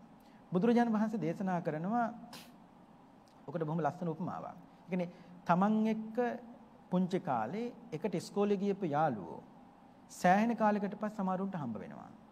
ඒ හම්බුනාම හරි සන්තෝසයි. ඉස්කෝලේ ගිහලා ගහගත්තුවා, බැනගත්තුවා, රණ්ඩු වෙච්චා, පුංචි කාලේට පොඩි පොඩි දේවල් වුණාට ඌව සෑහෙන කාලයක් ගිහලා කතා කරනකොට හරි සන්තෝසයි. ඒ වගේ තමයි manuss ලෝකෙදි එකට පින් කරගත්තෝ. කල්යාණ මිත්‍රයෝ දිවි ලෝකෙත් එකටම හම්බෙනකොට හරියට ඉස්කෝලේ ගියෝ පුංචි කාලියෝ පුංචි කාලේ යාළුවෝ සෑහෙන කාලයකට පස්සේ හම්බුණා වගේ. බුදුහාමුදුරු දේශනා කරනවා ඒ මිත්‍රයෝ නැත්තම් කල්යාණ මිත්‍රයෝ වැඩි කරගන්නේ කොහොමද? ආලවක සූත්‍රයේදී ආලවක යක්ෂය බුදුහාමුදුරන්ගෙන් ප්‍රශ්නයක් අහනවා කතං මිත්තානි ගන්තති. බුදුහාමුදුරනේ මිත්‍රය වැඩි කරගන්නේ කොහොමද කියලා ඇහුවා. දදං මිත්තානි ගන්තති. දෙන්න දෙනකොට යාළුවෝ වැඩි වෙනවා. මේ කියන්නේ මොකද්ද කියලා පින්නතුන්ට තේරෙනවා. ඒක තමයි හොඳට තමන්ගේ යාළුවට ධර්මයේම දෙන්න ඕනේ පින්නතුනි. දීම කියනකොට වස්තු වශයෙන් දීමත් අයිති වෙනවා. ඊට වඩා මෙතන වටින්නේ ධර්මයේම දෙන්න ඕනේ. ඒ ධර්මයේම දෙනකොට තමයි මිත්‍රයෝ වැඩි වෙන්නේ. බලන්නකො පින්නතුනි සමහරු දැන් පින්කමක් කරන්න ගියාම පුදුම විදියට කල්යාණ මිත්‍රයෝ ඉන්නේ. ඒ සසරේදී තනියෙන් පින්කම් නොකොට කල්යාණ මිත්‍රයෝ තමන්ගේ පින්කමට එකතු කරගෙන පින්කම් කරපේක විපාක හැටියට. ඒ කියන්නේ පරිවාර සම්පත්තිය තියෙනවා. හැබැයි සමහරු පින්කම් කරන්න ගියාම තමන්ට තමන් විතරයි. අනේ සමහරු පින්කමක් පටන් ගත්තාම පුදුම සෙනගක් ඒ විදිහ නෙවෙයි මහා පුදුම ලස්සනක් ඒ පින්කම තුල දකින්න පුළුවන්කම තියෙනවා. ඇයි ඒ කල්යාණ මිත්‍රත්වය නිසා. බුදුහාමුදුරු දේශනා කරනවා කල්යාණ මිත්‍රයන් කොටස් හතරකට බෙදුවා. මේක ප්‍රසිද්ධ දේශනාවක් ප්‍රසිද්ධ කාරණාවක්. පළවෙනි එක තමයි පින්නතුනි උපකාරක මිත්‍රයා. කල්යාණ මිත්‍රයා. ඒ කියන්නේ ඌමනාතනේදී යහළුවාට බොහෝම හොඳට උදව් උපකාර කරනවා. දැන් අපි මෙහෙම හිතමුකෝ. තමන්ගේ යාළුවා මත්පැන් බීලා පාරේ වැටිලා ඉන්නවා. මිත්‍රයෙක් නම්, කල්යාණ මිත්‍රයෙක් නම් අහක බලන් යයිද? නෑ. එක්කරගෙන යනවා. එක්කරන් ගිහිල්ලා සිහිබුද්ධි ආවට පස්සේ එයාට හොඳට කරුණු කියන්න ඕනේ. කරුණු කියලා යහපත් පැත්තට එයාව ගන්න පුළුවන් නම් ගන්න පුළුවන් සෑම උත්සාහයක්ම ගන්නවා. කවුද? උපකාරක මිත්‍රයා. ඒ කියන්නේ අහක බලන්නේ බීලා හිටියා, වැටිලා හිටියා. එහෙම නෙවෙයි කල්පනා කරන්න ඕනේ. මෙයා මේකෙන් කොහොම හරි මගලවගෙන මගේ ඇසුරට යහපත් ඇසුරට ගන්න ඕනේ කියලා එයා ඇත්ත නිතරම පින්නතුනි කල්පනා කරනවා. ඊට පස්සේ සමාන සුඛ දුක්ඛ මිත්‍රය. ඒ කියන්නේ දුකේදී සැපේදී දෙකේදීම පින්නතුනි සමව කල් ගෙවන, කල් යවන යහළුවෙක් ඉන්නවා, කල්යාණ මිත්‍රයෙක් ඉන්නවා. බුදුහාරු දේශනා කරනවා ඒතනත්තා තමන්ගේ යහළුවගේ රහස් මෙහෙම වෙන කාටවත් එහෙම කියන්නේ නැහැ. ඒ වගේම ඔහුගේ රහස් පිටතට කියන්නෙත් නැහැ. ඒ වගේම විපතේදී කවදාවත් අතහැර යන්නෙත් නැහැ. ඒ වගේ ඒ විතරක් නෙවෙයි තමන්ගේ යාළුවට කරදරයක් වුණාට පස්සේ ජීවිතේ උනත් පින්නතුනි පූජා කරන්න පුදන්න ඒ ඇත්ත සූදානමින් ඉන්නවා. ඊට පස්සේ තුන්වෙනි කෙනා තමයි අත්තක්කායක මිත්‍රයා. ඒ කවුද? දෙලොව දියුණුවට මග කියන. ඒ කියන්නේ මෙලොවටත් පරලොවටත් කියන දෙලොවටම දියුණුවට මග කියන කෙනා. බුදුහාරු දේශනා කරනවා ඒතනැත්තා නපුරෙන් වළක්වනවා. ඒ විතරක් නෙවෙයි යහපතෙහි යොදවනවා. ඒ විතරක් නෙවෙයි නොඇසූ දහම් අන්න ලස්සන කාරණාවක්. තමන්ගේ මිත්‍රයාට නොඇසූ දහම් අසන්නට සලස්සනවා. බණ පොතක් හම්බුණත් ඒ බණ පොත යාළුවට කියවන්න දෙන්න ඕනේ. ඒක තමයි කල්යාණ මිත්‍රත්වය කියලා කියන්නේ. ඒක හංගගෙන පැත්තකට දාලා එහෙම ඉන්න හොඳ නෑ. මිනිස්සු බණ පොත් බෙදනකොට පොර කාලා ඒ විදිහට තමයි ගන්නෙ. එහෙම එහෙම වරදක් නෙවෙයි. ඒ ගත්තා කියෙව්ව තවත් කෙනෙකුට ඒ දැනුම දියුණු කරගන්න තවත් කෙනෙකුට කල්යාණ මිත්‍රයෙකුට දෙන්න ඕනේ පින්නතුනි. ඒක තමයි කල්යාණ මිත්‍රත්වය කියන්නේ. ඒක තමයි ධර්මයේ බෙදා හදා ගැනීම කියලා කියන්නේ. අපි මුලින් කිව්වේ බණක් ඇහුණත් බණක් ගියත් බෞද්ධ නාලිකාවේ ඒ ඇත්ත හතර වටේටම කෝල් කරලා කියනවනේ. ඒ කල්යාණ මිත්‍රත්වය. කොච්චර ලස්සනයිද? ඒ වගේම බුදුහාරු දේශනා කරනවා ඊළඟ සරුගේට මඟ කියා දෙනවා. නිවනට යා යුතු මාවත මොකද්ද කියලා කල්යාණ මිත්‍රය කියලා දෙනවා. ඊට පස්සේ අනුකම්පක මිත්‍රය හැටියට බුදුහාමුදුරු දේශනා කරනවා අනුකම්පා කරන කෙනා. ඒදී බුදුහාමුදුරු මතක් කරනවා යහළුවාගේ පිරිහීමකදී කවදාවත් කල්යාණ මිත්‍රයෙක් නම් සතුටු වෙන්නේ සතුටු වෙන්නේ නැහැ. ඒ විතරක් නෙවෙයි යහළුවගේ දියුණුව දැකලා ඒ දියුණුවම ප්‍රාර්ථනා කරනවා. ඒ වගේම යහළුවගේ දොස් කියන ඒ කියන්නේ තමන්ගේ කල්යාණ මිත්‍රයාගේ දොස් කියන ওই පාරදීම හම්බෙනවනේ. ආ යා දෙයා ගැන කියන්න දෙයක් නැහැ. ආන්නේ විදිහට මිනිස්සු කතා කරනවා. නමුත් ඒ යහළුවගේ දොස් කිව්වත් ඒක වළක්වන්න උත්සාහවන්ත වෙනවා. ඒ විතරක් නෙවෙයි තමන්ගේ යාළුවගේ ಗುಣ කියන කෙනෙක් පාරේ තොටේදී හම්බ වුණොත් ඒ ගුණය තවත් ඉස්මතු කරලා තවත් ඔප්නම් වල කියන්න පින්නතුනි ඒ ඇත්ත ගොඩාක් පසුබට වෙන්නේ නැහැ උත්සාහවන්ත වෙනවා. ඉතින් නිසා බුදුහාමුදුරුවෝ දේශනා කළ ඒකයි. නිදීනංව පවත්තාරං යම් පස්සේ වජ්‍ය දස්සෙනං යම් කිසි කෙනෙක් වරදක් කියලා දුන්න නම් පෙන්නුව නම් පින්නතුනි නිදානයක් පෙන්ලා දුන්නා හා සමානව සලකන්ට ඕනේ. ඒක තුල සැලසෙන්නේ පින්නතුනි මේ ජීවිත තුල සනාතන භාවය. ඒක රැකවරණය සැලසෙනවා. මේ හැම දෙයක්ම සැලසෙනවා කල්යාණ මිත්‍රයේ ඇසුරු කිරීම. ඒ නිසා බුදුහාමුදුරු වදාලා නිහියති පුරිසෝ නිහීන සේවී. ඒ කියන්නේ තමන්ට වඩා පහත් අය ඇසුරු කිරීමෙන් පිරිහෙනේක පිරිහෙනවාම තමයි. නච හායේත කදාජිතුල්ලේ තමන් සමානව තමන්ගේ සමාන ගුණ තියෙන අය ඇසුරු කිරීම තුළ ඒ தത്വයටමපත් වෙනවා. ඒ නිසා සෙට්ටම උපනං උදේති කිප්පං තස්මා අත්තනෝ උත්තරින් භජේත තමන්ට වඩා ගුණෙන් නුවණින් වැඩි කෙනෙක් මැසුරු කරන්න, කල්යාණ මිත්‍රයෙක් මැසුරු කරන්න ඒ තුළ දියුණුවක්ම තමයි පින්නතුනේ සැලසෙන්නේ. නිසා බුදුහාමුදුරු වදාලේ ගෙදර ඉන්නකොට මාතා මිත්තං සකේ කරේ. අම්ම තමයි හොඳම කල්යාණ මිත්‍රයා. අම්ම තමයි හොඳම යාළුවා. යම් කිසි වෙලාවක ජීවිතේ සම්දිස්ථානියක් ඒ කියන්නේ තරුණ වයසට එනකොට විවාහ වුණාට පස්සේ බුදුහාඳුරු දේශනා කරනවා බරියාව පරමාසකා. භාර්යාව තමයි ඉන්න හොඳම හොඳම යාළුවා හොඳම කල්යාණ මිත්‍රයා. එනිසා පින්නතුනි මේ නාතකරණ සූත්‍රයේ බුදුරජාණන් වහන්සේ තුන්වෙනි කාරණාව හැටියට දේශනා කළේ කල්යාණ මිත්‍ර සම්පත්තිය, කල්යාණ මිත්‍ර ඇසුර. පින්වත්නි සම්බුද්ධ ශාසනයක් පවතින වෙලාවේ දුර්ලභව ලැබපු මේ මනුස්ස ජීවිතයේ පිහිටක් හදාගන්න තියෙන සිව්වැනි නාතකරණ ධර්මය පුනච පරම් භික්ඛවේ භික්ඛු සුවචෝ හෝති සෝවචස්ස කරණේහි ධම්මේහි සමන්නාගතෝ කමෝ පදක්කිනක් ගාහි අනුශාසනින් බුදුරජාණන් වහන්සේ දේශනා කරනවා මහණෙනි මේ ශාසනයේ භික්ෂුව සුවචෝ හෝති සුවචයි. සුවච කියන වචනයට විරුද්ධ වචනේ තමයි දුර්වච කියන එක. පින්වත්නි දුර්වච කියන එකේ තේරුම තමයි කරන අවවාදය කරන අනුශාසනාව ඉවසීමෙන් සතුටින් ගෞරවයෙන් බාරගන්නේ නැති බව. එතකොට සුවච කියන එකේ තේරුම කරන අවවාදය කරන අනුශාසනාව ගෞරවයෙන් සතුටින් ඉවසීමෙන් බාරගන්න ගුණය. ඒකට කියනවා සුවච භාවය කියලා. ඊළඟට කියනවා සෝවචස්ස කරණේහි ධම්මේහි සමන්නාගතු සුවච කරන ධර්මයන්ගෙන් සමන්විත වෙනවා. කමු කමෝ කියන්නේ අවවාදය කරනකොට ඒ අවවාදය නොයිවසන්නේ නැහැ ඉවසනවා. ඊළඟට කියනවා පදක්කිනක් ගාහි ප්‍රදක්ෂිනා කරලා ගන්නවා ගෞරවයෙන් ගන්නවා. අනුශාසනාව ගෞරවයෙන් ගන්නවා. පින්නතුනි මේ ලෝකේ සමහර අය ඉන්නවා අවවාදයක් කරනකොට ඒ අවවාදේ කරනවට සතුටු නැති.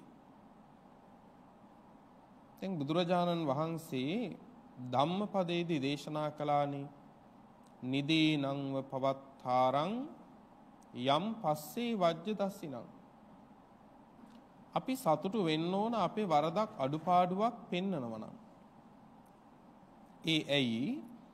ඒ වරද අඩුපාඩුව පෙන්වන්නේ නැතිව ඒකත් හරි කියලා කියන අයත් ලෝකේ ඉන්නවා.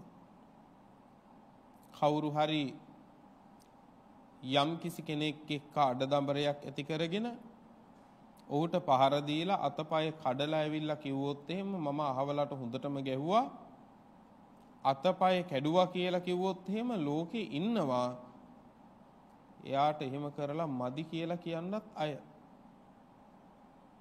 ඒ කියන්නේ එයා ඊටත් වඩා දෙයක් බලාපොරොත්තු වෙලා තියෙනවද නැද්ද? ඊටත් වඩා දෙයක් බලාපොරොත්තු වෙලා තියෙනවා. ඒ විතරක් නෙමෙයි පින්වත්නි යම් කිසි කෙනෙක් ඉන්නවා පින්වත්නි ඒ අවවාදයක් කරන්නේ නැතිව කරපු වරද හරි අනුමත කරන ඒකෙන් සතුටු කරන තවත් ඒ වරද තීව්‍ර කරන්නට පුළුවන් කතාවක් හරි කිව්වොත් අනේ හොඳයි ඔයා හොඳම දේ තමයි කරලා තියෙන්නේ කිව්වොත් අපිට හිතෙනවා එයා තමයි අපිට ඉන්න හොඳම කෙනා. අපි ඒ අයගේ අපි වරදක් කළා වුණත් ඒ වරද හරි වර්ණනා කරනවා නම් සතුටු වේ ඇතැම් අය.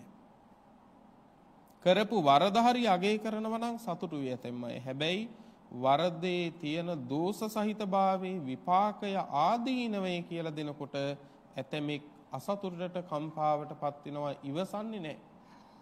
හැබැයි යමෙක් ඔබේ හෝ මගේ හෝ වරදක් පෙන්නනවා නම් මතක තියාගන්නේ වරද පෙන්නන කෙනා අපිව හතර අපායට වැටෙනවට කැමති නැති කෙනෙක් නේ.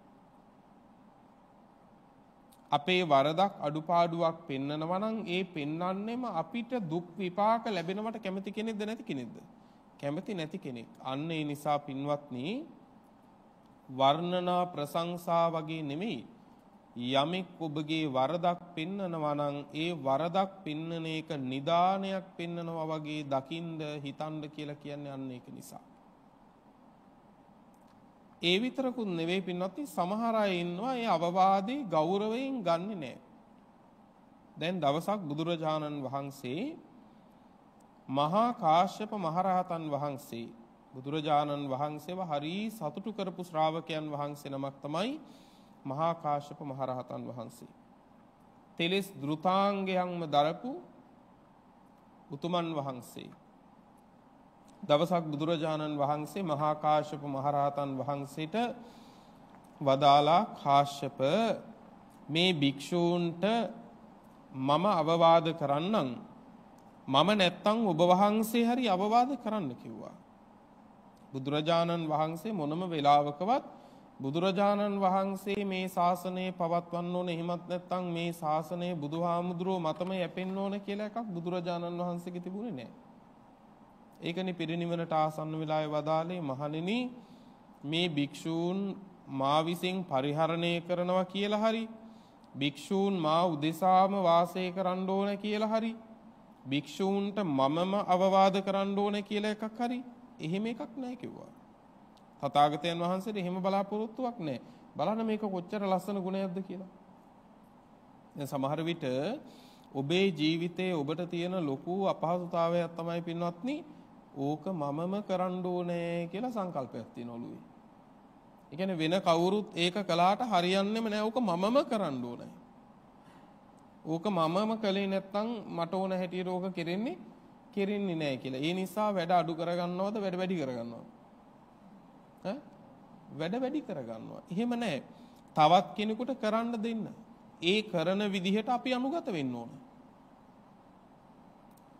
එහෙම වුණාම පහසුයි පින්වත්. හරි පහසුයි ඒක. එතකොට බුදුරජාණන් වහන්සේ කාශ්‍යප මහරහතන් වහන්සේට වදාළ එකයි මහා කාශ්‍යප මේ භික්ෂූන්ට මම අවවාද කරන්නම් මම නැතිනම් ඔබ හරි අවවාද කරන්න කිව්වා. අන්න ඒ වෙලාවේ මොකද්ද වදාළේ කාශ්‍යප මහරහතන් වහන්සේ ස්වාමීනි අතීතේ භික්ෂූන් වහන්සේලා වගේ නෙමෙයි කිව්වා. අතීතේ භික්ෂූන් වහන්සේලා වගේ නෙමෙයි කිව්වා. දැන් ඉන්න භික්ෂූන් වහන්සේලා අවවාදේ ගන්නේ නුහුරට කිව්වා. අවවාදේ නුහුරට ගන්නවයි කිව්වා. එතකොට බලන්න පින්නත් ඇයි සුවච භාවය ක්‍රමක්‍රමයෙන් නැති වෙලා යනවා ලෝකේ. අවවාදේ ඉවසන්නේ නැහැ. අවවාදේ ගෞරවයෙන් ගන්නෙ නැහැ. දැන් බලන්නකෝ අංගුත්තර නිකායේ අට්ටක නිපාතයේ තියෙනවා පින්නත් කලුංක කියලා සූත්‍රයක්. හරි ලස්සන සූත්‍රයක්. පින්වත්නි බුදුරජාණන් වහන්සේ දේශනා කරනවා අශ්වයෝ ගති ස්වභාවයන් අනුව අශ්වය වට දෙනෙක් ගැන. මේ සියලු කාරණාම දේශනා කරන්න වෙලාව ප්‍රමාණවත් නොවේවි. බුදුහාඳුරෝ පෙන්වනවා සමහර අශ්වයෝ ඉන්නවා කෙවිත අරගෙන හොඳයි දැන් යන් කියලා පහරක් දීපුවම පින්වත්නි මේ අශ්වයා මොකද කරන්න පින්වත්නි ඒ කරත්තය එතන කරකවනවා යන්නේ නැහැ යන්නේ නැහැ කරත්තේ කරකවනවා. තවත් අශ්වයෝ ඉන්නවා කෙවිත අරගෙන හොඳයි දැන් යන් කියලා පාරක් ගහපුවාම මොකද කරන්නේ අශ්වයාට ඕන හැටියට අශ්වයා ඒ මොන තරම් උනන්දු කෙරෙව්වත් මොන තරම් ඉක්මන් කෙරෙව්වත් එහෙම බෑ අශ්වයා යන්නේ අශ්වයාට ඕන විදිහට.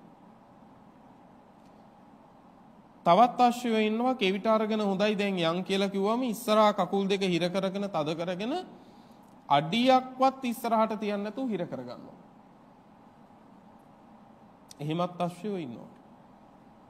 තවත් අශ්වයෝ ඉන්නවා හොඳයි දැන් යන් කියලා පාරක් ගහපුවාම යනව වෙනුවට උඩ පැනලා පස්සහ කකුල් දෙකෙන් ගහනවා පින්නත් කරත්තට ආපස්සට.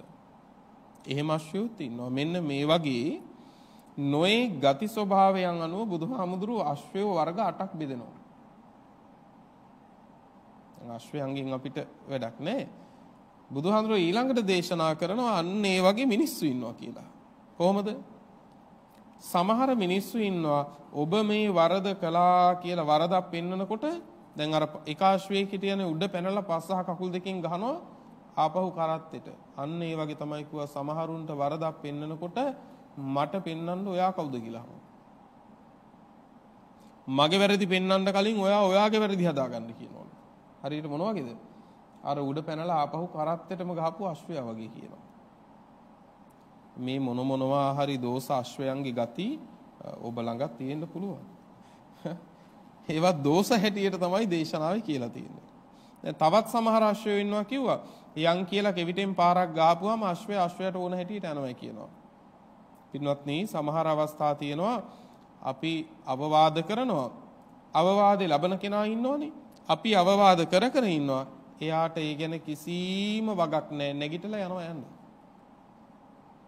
අපි මෙහි අවවාද කරනවා. එයා මොකුත් නොවුන ගානට වෙන කෙනෙකුට වගේ නැගිටලා යනවා යන්නේ. ඇයි ඒ අවවාද ඉවසන්නේ? ඒ අවවාදේ ගෞරවයෙන් අරගෙනද? ගෞරවයෙන් අරගෙන නැහැ. තවත් ඉන්නවා කිව්ව අශ්වය වර්ගයක් දුවනවයි කිව්ව අශ්වයට ඕන ඕන තැන්වල. අන්න ඒ වගේ තමයි කිව්වා. සමහර අයට අවවාදයක් කළාම අපි හිතමුකෝ ස්වාමින් වහන්සේ නමක් කියලා අවවාදයක් කළාම ආ හොඳයි. එහෙමද වෙන්න ඕන කියලා සිවුර ඇරලම දාලා යනවයි කිව්වා. තවත් අවස්ථා තියෙනවා කිව්වා ගිහි අය නම් දරුවෝ නම් අද අපිට අත්දැකීම් තියෙනවා පින්වත්නි. අවවාදයක් කළාම පින්වත්නි සමහර අය ගිහිලා කෝච්චියට පනිනවා. තවත් සමහරු ගිහිලා පින්වත්නි එල්ලිලා මැරෙනවා. ඒ එල්ලිලා මැරෙනකොට පින්වත්නි ඒවා අද බලන්නකො පින්වත්නි වීඩියෝ කරලා අනික් අයට දකින්න සලසනවා. ඇයි මේ දඬුවම මට නෙවෙයි ඔබලටයි කියලා. එතකොට වරද කරලා තියෙන්නේ කවුද? අවවාදේ ලබන්න තමන් නෙවෙයි. අවවාදේ කරපු එක තමයි දැන් වරද වෙලා තියෙන්නේ. ඒකට දඬුවම තමයි තමන්ගේ මරණය. අන්න ඒ වගේ අවවාදය ඉවසීමෙන් ගෞරවයෙන් සතුටින් බාරගන්නේ නැති අය පින්වත්නි ලෝකේ ඉන්නවා. හැබැයි සුවච භාවය කියන්නේ අවවාදේ ගෞරවයෙන් පිළි අරගන්න ඕන.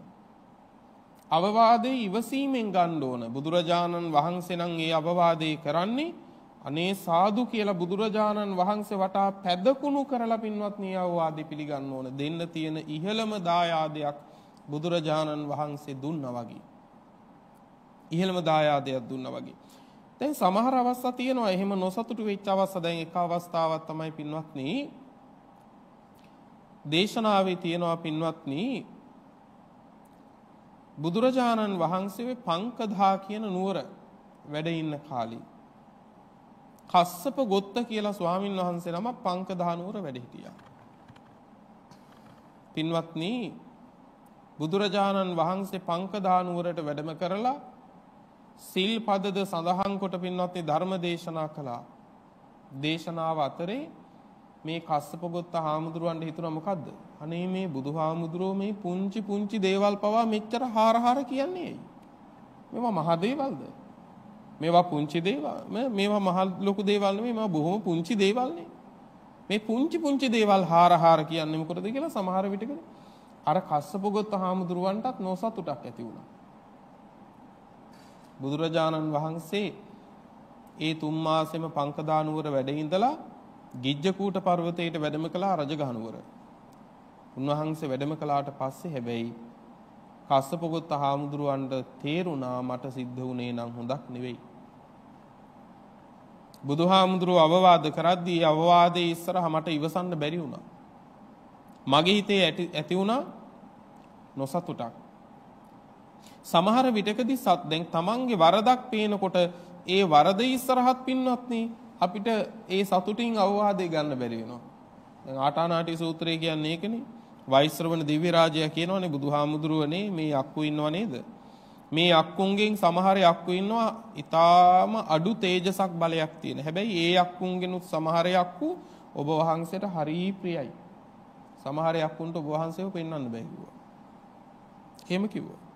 ඊළඟට අහනවා ස්වාමීනි සමහර යක්කු ඉන්නවයි කිව්වා මධ්‍යම ප්‍රමාණයේ තේජස තියෙන බලය තියෙන. ඒ යක්කුන්ගෙමුත් සමහරුන්ට ඔබ වහන්සේ හරි ප්‍රියයි කිව්වා. හැබැයි සමහර යක්කෝ ඔබ වහන්සේ කෙරෙහි පැහැදිලා නැහැ කිව්වා ඔබ වහන්සේව පෙන්වන්න බෑ කිව්වා. එහෙම යක්කුත් ඉන්නවා. එතකොට තවත් කිව්වා ඊටාම තේජස තියෙන බල සම්පන්න යක්කු ඉන්නවා. ඒ යක්කුන්ගෙනුත් කොටසක් ඔබ වහන්සේට හරි ප්‍රියයි ප්‍රසන්නයි. හැබැයි ඔබ වහන්සේ කෙරෙහි ප්‍රසන්න නැති අප්‍රසන්න යක්කුත් ඉන්නවා කිව්වා. ඇයි? ඔබ වහන්සේ බණ කියනවා කිව්වා පරපන නසන්න එපා කියලා. මේ යක්කුන්ගෙන් සමහර යක්කු පරපන නසනවයි කිව්වා. පරපන නසන යක්කුන්ට පරපන නසන්න එපා කියලා කියන බණ සතුටුද? සතුටු නැහැ කිව්වා. එතකොට ඒක සතුටින් ඒ අවවාදී ගන්න ඇතෙමෙක්. නමුත් වරද බිමින් තියන්න කැමති නම් වරද බිමින් තියලා නිවැරදි දේ දොහොත් මුදුන් දීලා ගන්න කැමති නම් ඒ පුද්ගලයා පින්වත් මේ අවවාදේ සාදුකාර දීලා පිළිගන්නවා. මජ්ක්‍ධිම නිකායේ තියෙනවා ලටුකිකෝපම කියලා සූත්‍රයක්. හරි ලස්සනයි. මේ ලටුකිකෝපම සූත්‍රෙදී බුදුහාමුදුරුවෝ දේශනා කරනවා මහණෙනි සමහර විටකදී අවවාද කරනකොට සමහර ශ්‍රාවකයෝ ඉන්නවා කිව්වා හිතනවායි කිව්වා මේ බුදුහාමුදුරුවෝ මේ පුංචි දේවල් ගැන මෙච්චර කියන්නේ ඇයි? පුංචි දේවල් නෙමේවා මේවා. ඒ තරම් දේවල් නෙවෙයිනේ මෙච්චර පුංචි දේවල් ගැන කියන්නේ ඇයි කියලා නොසතුටටපත් වෙනවයි කිව්වා. සතුටු වෙන්නේ කිව්වා.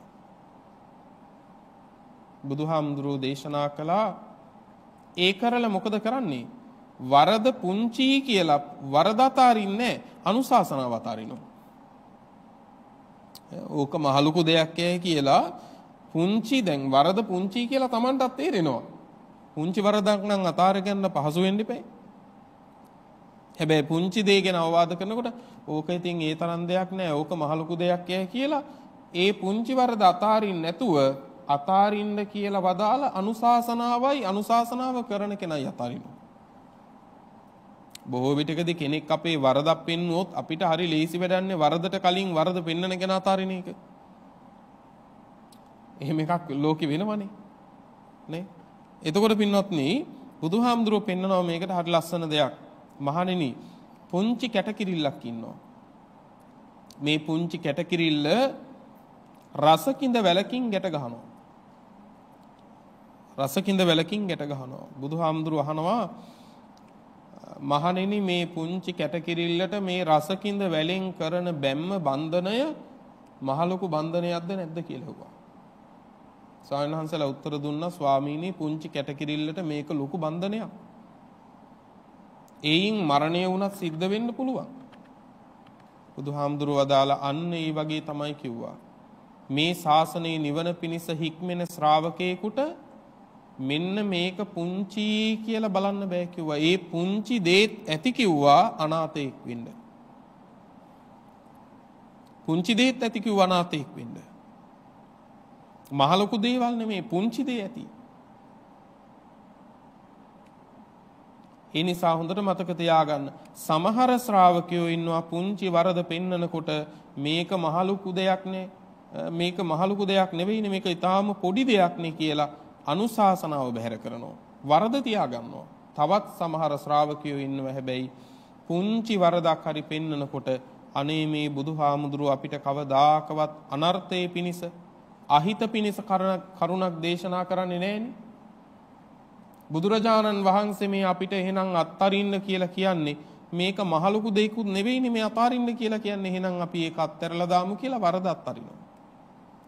බලන්නකො පින්වත්නි වරද පුංචි කියලා හිතන කෙනෙකුට පුංචි නිසා ඒ වැරදි අතහැරලා දාන්නත් පුළුවන්.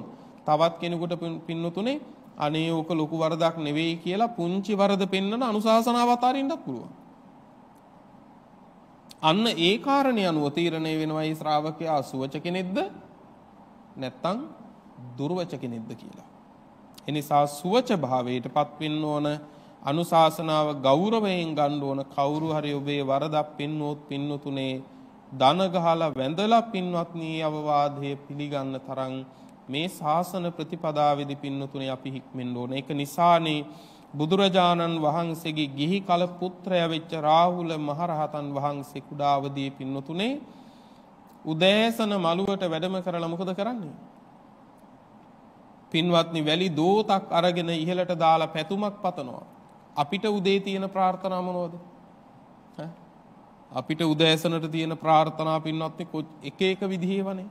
හැබැයි අපි කවුරුත් ප්‍රාර්ථනා කරනවද මහ උදෑසනක වැලි දෝතක් උඩ දාලා මේ වැලි කැට ගානට අවවාද ලැබෙන්නේ කියලා. වැලි කැට ගානට ඕන නැහැ. එකම මිනිස්සෙක් එක දවසක් ඇතුළත වැරදි පහක් පෙන්නුවොත් අපිට ඉවසන්න පුළුවන් වෙයිද? වැරදි පහක් පෙන්නුවොත්. හැබැයි රාහුල හාමුදුරුව බුදුහාමුදුරන්ගේ ගිහි කල පුතා උන්වහන්සේ වැලි දෝතක් උඩ දාලා පතන්නේ වැලි කැට ගානට මට අවවාද ලැබෙන්න කියලා. අනුශාසනා ලැබෙන්න කියලා. කොච්චර හික්මෙන්න කැමති උතුමෙක්ද? අන්න ඒ වගේ ගෞරවයෙන් පින්වතුනේ අවවාදේ පිළිගන්න ඕනේ, දරා ගන්න ඕනේ. ඒකට කියනවා සුවච භාවය කියලා. ඒ තමයි සිව්වැනි නාත කරන ධර්මය. පින්වත්නි භාග්‍යවතුන් වහන්සේ පස්වෙනි නාත කර්ම ධර්මයේ හැටියට දේශනා කළේ පුනච පරං භික්කවේ භික්ඛු යානි තානි සබ්‍රක්‍මචාරීනං උච්චාවචානි කිංකරණීයානි තත්ත දක්කෝ හෝති අනලසෝ ඒ කියන්නේ තමන්ගේ සබ්‍රක්‍මචාරින් වහන්සේලා නැත්තම් තමන්ගේ අනිත් ස්වාමින් වහන්සේලා වෙනුවෙන් කළ යුතු කටයුතු වලදී කම්මැලි වෙන්නට හොඳ නෑ. ඒකත් එහෙමයි ධර්මයේ තුල කම්මැලි වෙන්නත් හොඳ නෑ. පින්නතුන්ට මතකයි ආලවක යක්ෂයා බුදුරජාණන් වහන්සේගෙන් දවසක් අහනවා කතන්සු වින්දතේ ධනං බුදුහාමුදුරුවනේ ධනෙ හම්බ කරන්නේ කොහොමද කියලා ඇහුවා. ඊට පස්සේ බුදුහාර උත්තර දුන්නා උට්ඨාතා වින්දතේ ධනං. ඒ කියන්නේ උත්සාහවත් බව ඇති කරන කම්මැලි නැති සිටිවිලි ඇති කර ගන්න ඕනේ. ආන්නේ කනට තමයි ධනෙ හොඳට හම්බ කරන්න පුළුවන්. කම්මැලි වෙන්න හොඳ නැහැ. කම්මැලි වෙන්න හොඳ නැහැ කියලා කියන්නේ දැන් අද බොහෝ දෙනෙක් පුදුම විදියට පින්නතුන් දවල්ලක නිදා ගන්නවා. එහෙම හොඳ නැහැ. උදේ භික්ෂුවක් වුණත් එහෙමයි. ගියෙක් වුණත් එහෙමයි. උදේ පාන්දර අවදි වෙන්න ඕනේ. කම්මැලි වෙන්න හොඳ නැහැ. එහෙම උනම් පිරිහෙනවා. දවල් වෙනකන් සැතපෙන පැවිද්දාත් පිරිහෙනවා. දවල්ලකම් බුදියන ගිහියත් ඒත් පිරිහෙනවා. ඒ පිරිහිලා පිරිහිලා අන්තිමට තමන්ටම තමන්ගේ ජීවිතේ එපා වෙන තත්වයකටපත් වෙනවා. ඇයි? දවල්නකම් කම්මැලිකමට නිදාගත්තට පස්සේ තමන්ටම තේරෙනවනේ දෙයියනම මොනවද කළේ? මොනවද කරලා තියෙන්නේ? දවසෙන් භාගයක්ම ඇඳට වෙලා නිදීගෙන කරලා තියෙන්නේ. එතකොට ඒ කම්මැලි ජීවිතය තුළ මතක තියාගන්න ඕනේ පිරිහෙන එක පිරිනම තමයි. භික්ෂුවක් එහෙම සැතපෙනවා නම් මුළු පන්සල පිටින් පිරිහෙනවා. ගිහියෙක් එහෙම නිදා ගන්නම නම් මුළු ගෙදර පිටින් පිරිහෙනවා. එහෙම පිරිහිච්ච ගෙවල් ඕන තරම් තියෙනවා. එහෙම පිරිහිච්ච පන්සල් පව ඕන තරම් තියෙනවා. ඒ නිසා කම්මැලි වෙන්න හොඳ නැහැ. බුදුරජාන් වහන්සේ දේශනා කරනවා අර කුසීත වස්තු 8ක් දේශනා කරන තැනදී යම් කිසි කෙනෙක් කල්පනා කරනවා මේ සිරුර වෙහෙසටපත් වෙයි කියලා ශරීරයේ විඩාවටපත් වෙයි කියලා වැඩ කරන්නේ නැහැ. කම්මැලි වෙන්නවා. ඊට පස්සේ දැන් වැඩ කළාට පස්සේ කල්පනා කරනවා දැන් වැඩ කළානේ ශරීරය හරි වෙහෙසයිනේ කියලා පැත්තකට වෙලා ඉන්නවා. ඊට පස්සේ හිතනවා දැන් හෙට ගමනක් යන්න තියෙනවා. ඒ නිසා නිදා ගන්න ඕනේ. දැන් ගමන ගියානේ. ගිහිල්ලා ආවනේ. දැන් කල්පනා කරනවා දැන් මේ ගමන ගිහිල්ලා ආව විතරයිනේ මහන්සි. නිදා ගන්නවා. පිරිනනවා. ඒ කම්මැලි ගමනේ. ඊට පස්සේ තව සමහරෙක් කල්පනා කරනවා බඩ පිරෙන්න කෑවේ නෑනේ. හැබැයි කෑවට පස්සේ හිතනවා දැන් බඩ පිරලා වැඩි. ඊට පස්සේ තව කෙනෙක් කල්පනා කරනවා මම ලෙඩ වෙලා හිටියනේ. මම ලෙඩෙක්. ලෙඩේ සනීපුණාට පස්සේ දැන් සනීපුණා සනීපුණා විතරයි. දැන් වැඩ කරන්න බෑ. ඒ විදිහට ඒ කුසීතව නැත්තම් කම්මැලිව කටයුතු කරන කෙනා බුදුහාමුදුරු දේශනා කරනවා කවදාවත් මේ මේ ජීවිතය තුළවත් නැත්තම් සාංශාරික ජීවිතේවත් ඒ පුජ්‍යලයට කවදාවත් පින්නතුණු ජය ගන්න පුළුවන් කමක් නැත්තේ නෑ. පින්නතුන්ට මතකනේ මිලක්කතිස්ස කියලා ස්වාමින් වහන්සේ නමක් හිටියා. උන්වහන්සේට භාවනා කරනකොට නිදිමත එනවා. උන්වහන්සේ කරපු දේ තමයි තමන්ගේ කරපු දේ තමයි පිදුරු වලින් දරණක් හදාගෙන වලල්ලක් හදාගෙන මේක තෙමනවා ඔළුවේ තියා ගන්නවා.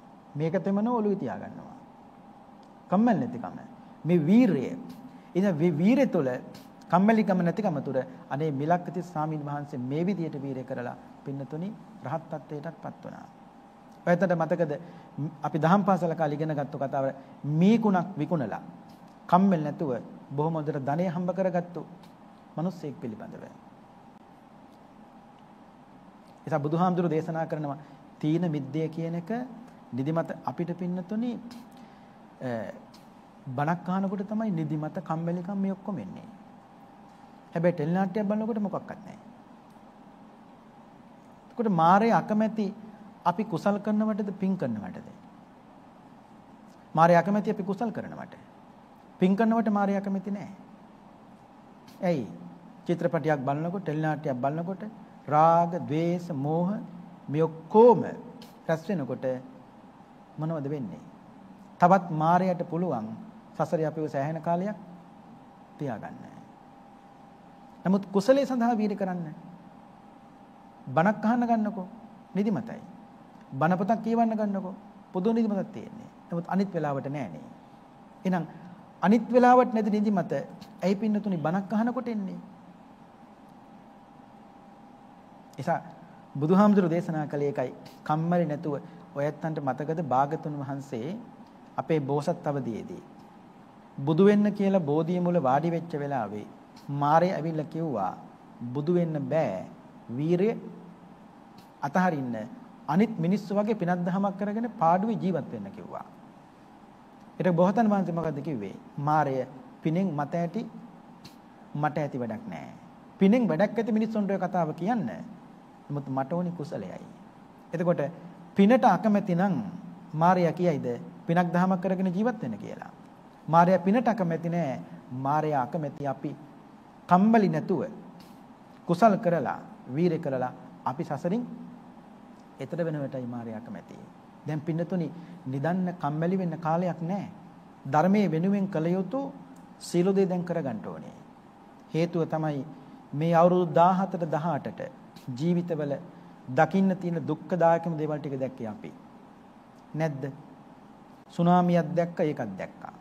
ඊට පස්සේ යුද්ධයක් දැක්කා අපි ඒකක් දැක්කා.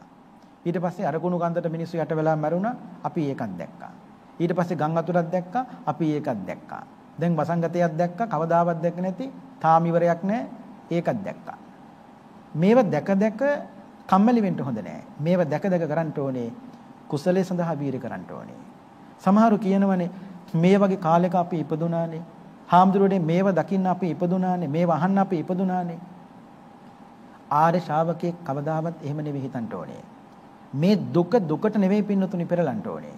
මේ දුක පෙරලන්න ඕනේ සැපතට පෙරලන්න. කම්මැලි නැතුව. පුළුවන් පෙරලන්න. නැතුව අපි හැමදාම මේ මත්තෙම නැහිගෙන හිටියොත් මේ විදියට කවදාවත් අපිට මේකෙන් ජය ගන්න පුළුවන්කම. මෙලොවත් බෑ පරලොවත් ජය ගන්න පුළුවන් කමක් නැත්තේ හොඳම උදාහරණ ඕනතරම් තියෙනවා පින්නතුණි. කිසා ගෞතමිය දුක දුකට පෙරළුවේ නැහැ. කිසා ගෞතමිය දුක පෙරළුවේ සැපතට. කිසා ගෞතමියගේ අබෑටවල තමයි තිබුණේ නිවන. බුදුහාර කිව්වේ නොමලගේකින් අබෑට හොයන්න ඉන්න කියලා. අපිට කිසాగෞතමී ගැන කියනකොට මතක් වෙන්නේ මැරිච්ච දරුවේ අබෑට ටිකයි විතරයි. නමුත් අපි දන්නේ කිසాగෞතමිය අබෑට වලින් තමයි නිවන හොයාගත්තේ. හොයන්ගේ අබෑට නමුත් හම්බුනේ නිවන. පටාචාරාවට දුක තිබුණා. නමුත් පටාචාරාව දුක දුකට නෙමෙයි පෙරළුවේ. පටාචාරාව දුක පෙරළුවේ දුක පෙරළුවේ සැපතට. පින්වත්නි ඒ නිසා මේ ජීවිතවල දුක්ඛදායකම දේවල් ටික දැක්කා අපි දැන් නිදන්න කම්මැලි වෙන්න කාලයක් නැහැ. ඉක්මනට කුසලයේ සඳහා වීර කරන්න ඕනේ. කලියුතු, ඒ කියන්නේ දහම වෙනුවෙන්, තමන්ගේ විමුක්තිය වෙනුවෙන්, නිවන වෙනුවෙන් කලියුතු යමක් තියෙනවද? නොපෙකලිව කම්මැලිතුවේ කටයුතු සිදු කරන්න ඕනේ. අනාගතේ මතක තියාගන්න පින්නතොනේ රජ්ජුරුව අධාර්මික වෙනවා. රජ්ජුරුව අධාර්මික වෙනකොට හාමුදුරුවරු රජ්ජුරුවන්ට ගිහින් කියනවා රජතුමනි රටක් ගෙනියන්නේ ඔහොම නෙවෙයි මෙන්න මෙහෙමයි කියලා. එතකොට රජ්ජුරුව කියනවලු හාමුදුරුවනේ මගේ වරදක් නෑ ඇමතුරුන්ගේ වරද කියලා. ඊට පස්සේ හාමුදුරුව ඇමතුරුන්ට කියනවා රටක් ගෙනියන්නේ ඔහොම නෙවෙයි මෙහෙමයි කියලා. එතකොට ඇමතුරු කියනවා හාමුදුරනේ මගේ වරදක් නෑ ඇමතුරුන්ගේ අපේ වරදක් නෑ හාමුදුරුවනේ රජ්ජුරුවන්ගේ වරද කියලා. එතකොට රජ්ජුරුව ඇමතුරුන්ගේ පිට වරද පටවනවා. ඇමතිවරු රජ්ජුරුවන්ගේ වරද පටවනවා. දැන් හාමුදුරුව කල්පනා කරනවා රජ්ජුරුවන්ටත් අපි ඕනේ ඇමතුරුන්ටත් අපි ඕනේ එහෙනම් දැන් මේ කතාව කියන්න ඕන කාටද? මිනිස්සුන්ට. හාමුදුරුවෝ මිනිස්සුන්ට කියන මිනිසුනේ රජ්ජුරුව අධාර්මිකයි. ඒ නිසා ඒ විපාකයක් හැටියට අනාගතේ නිසි කලට වැසි වසින එකක් නැහැ. ඒ නිසා නුඹලගේ පූදින ගොරු කිරිවදින ගොයම පාළු වෙන්න පුළුවන්. ඒ නිසා ඉක්මනට කුසල් කරන්න කම්මැලි වෙන්න එපා කියනවා. එතකොට මිනිස්සු කියනවලු ඔබ වහන්සේලා මේ කුසල් කරන්න කතා කරනවා.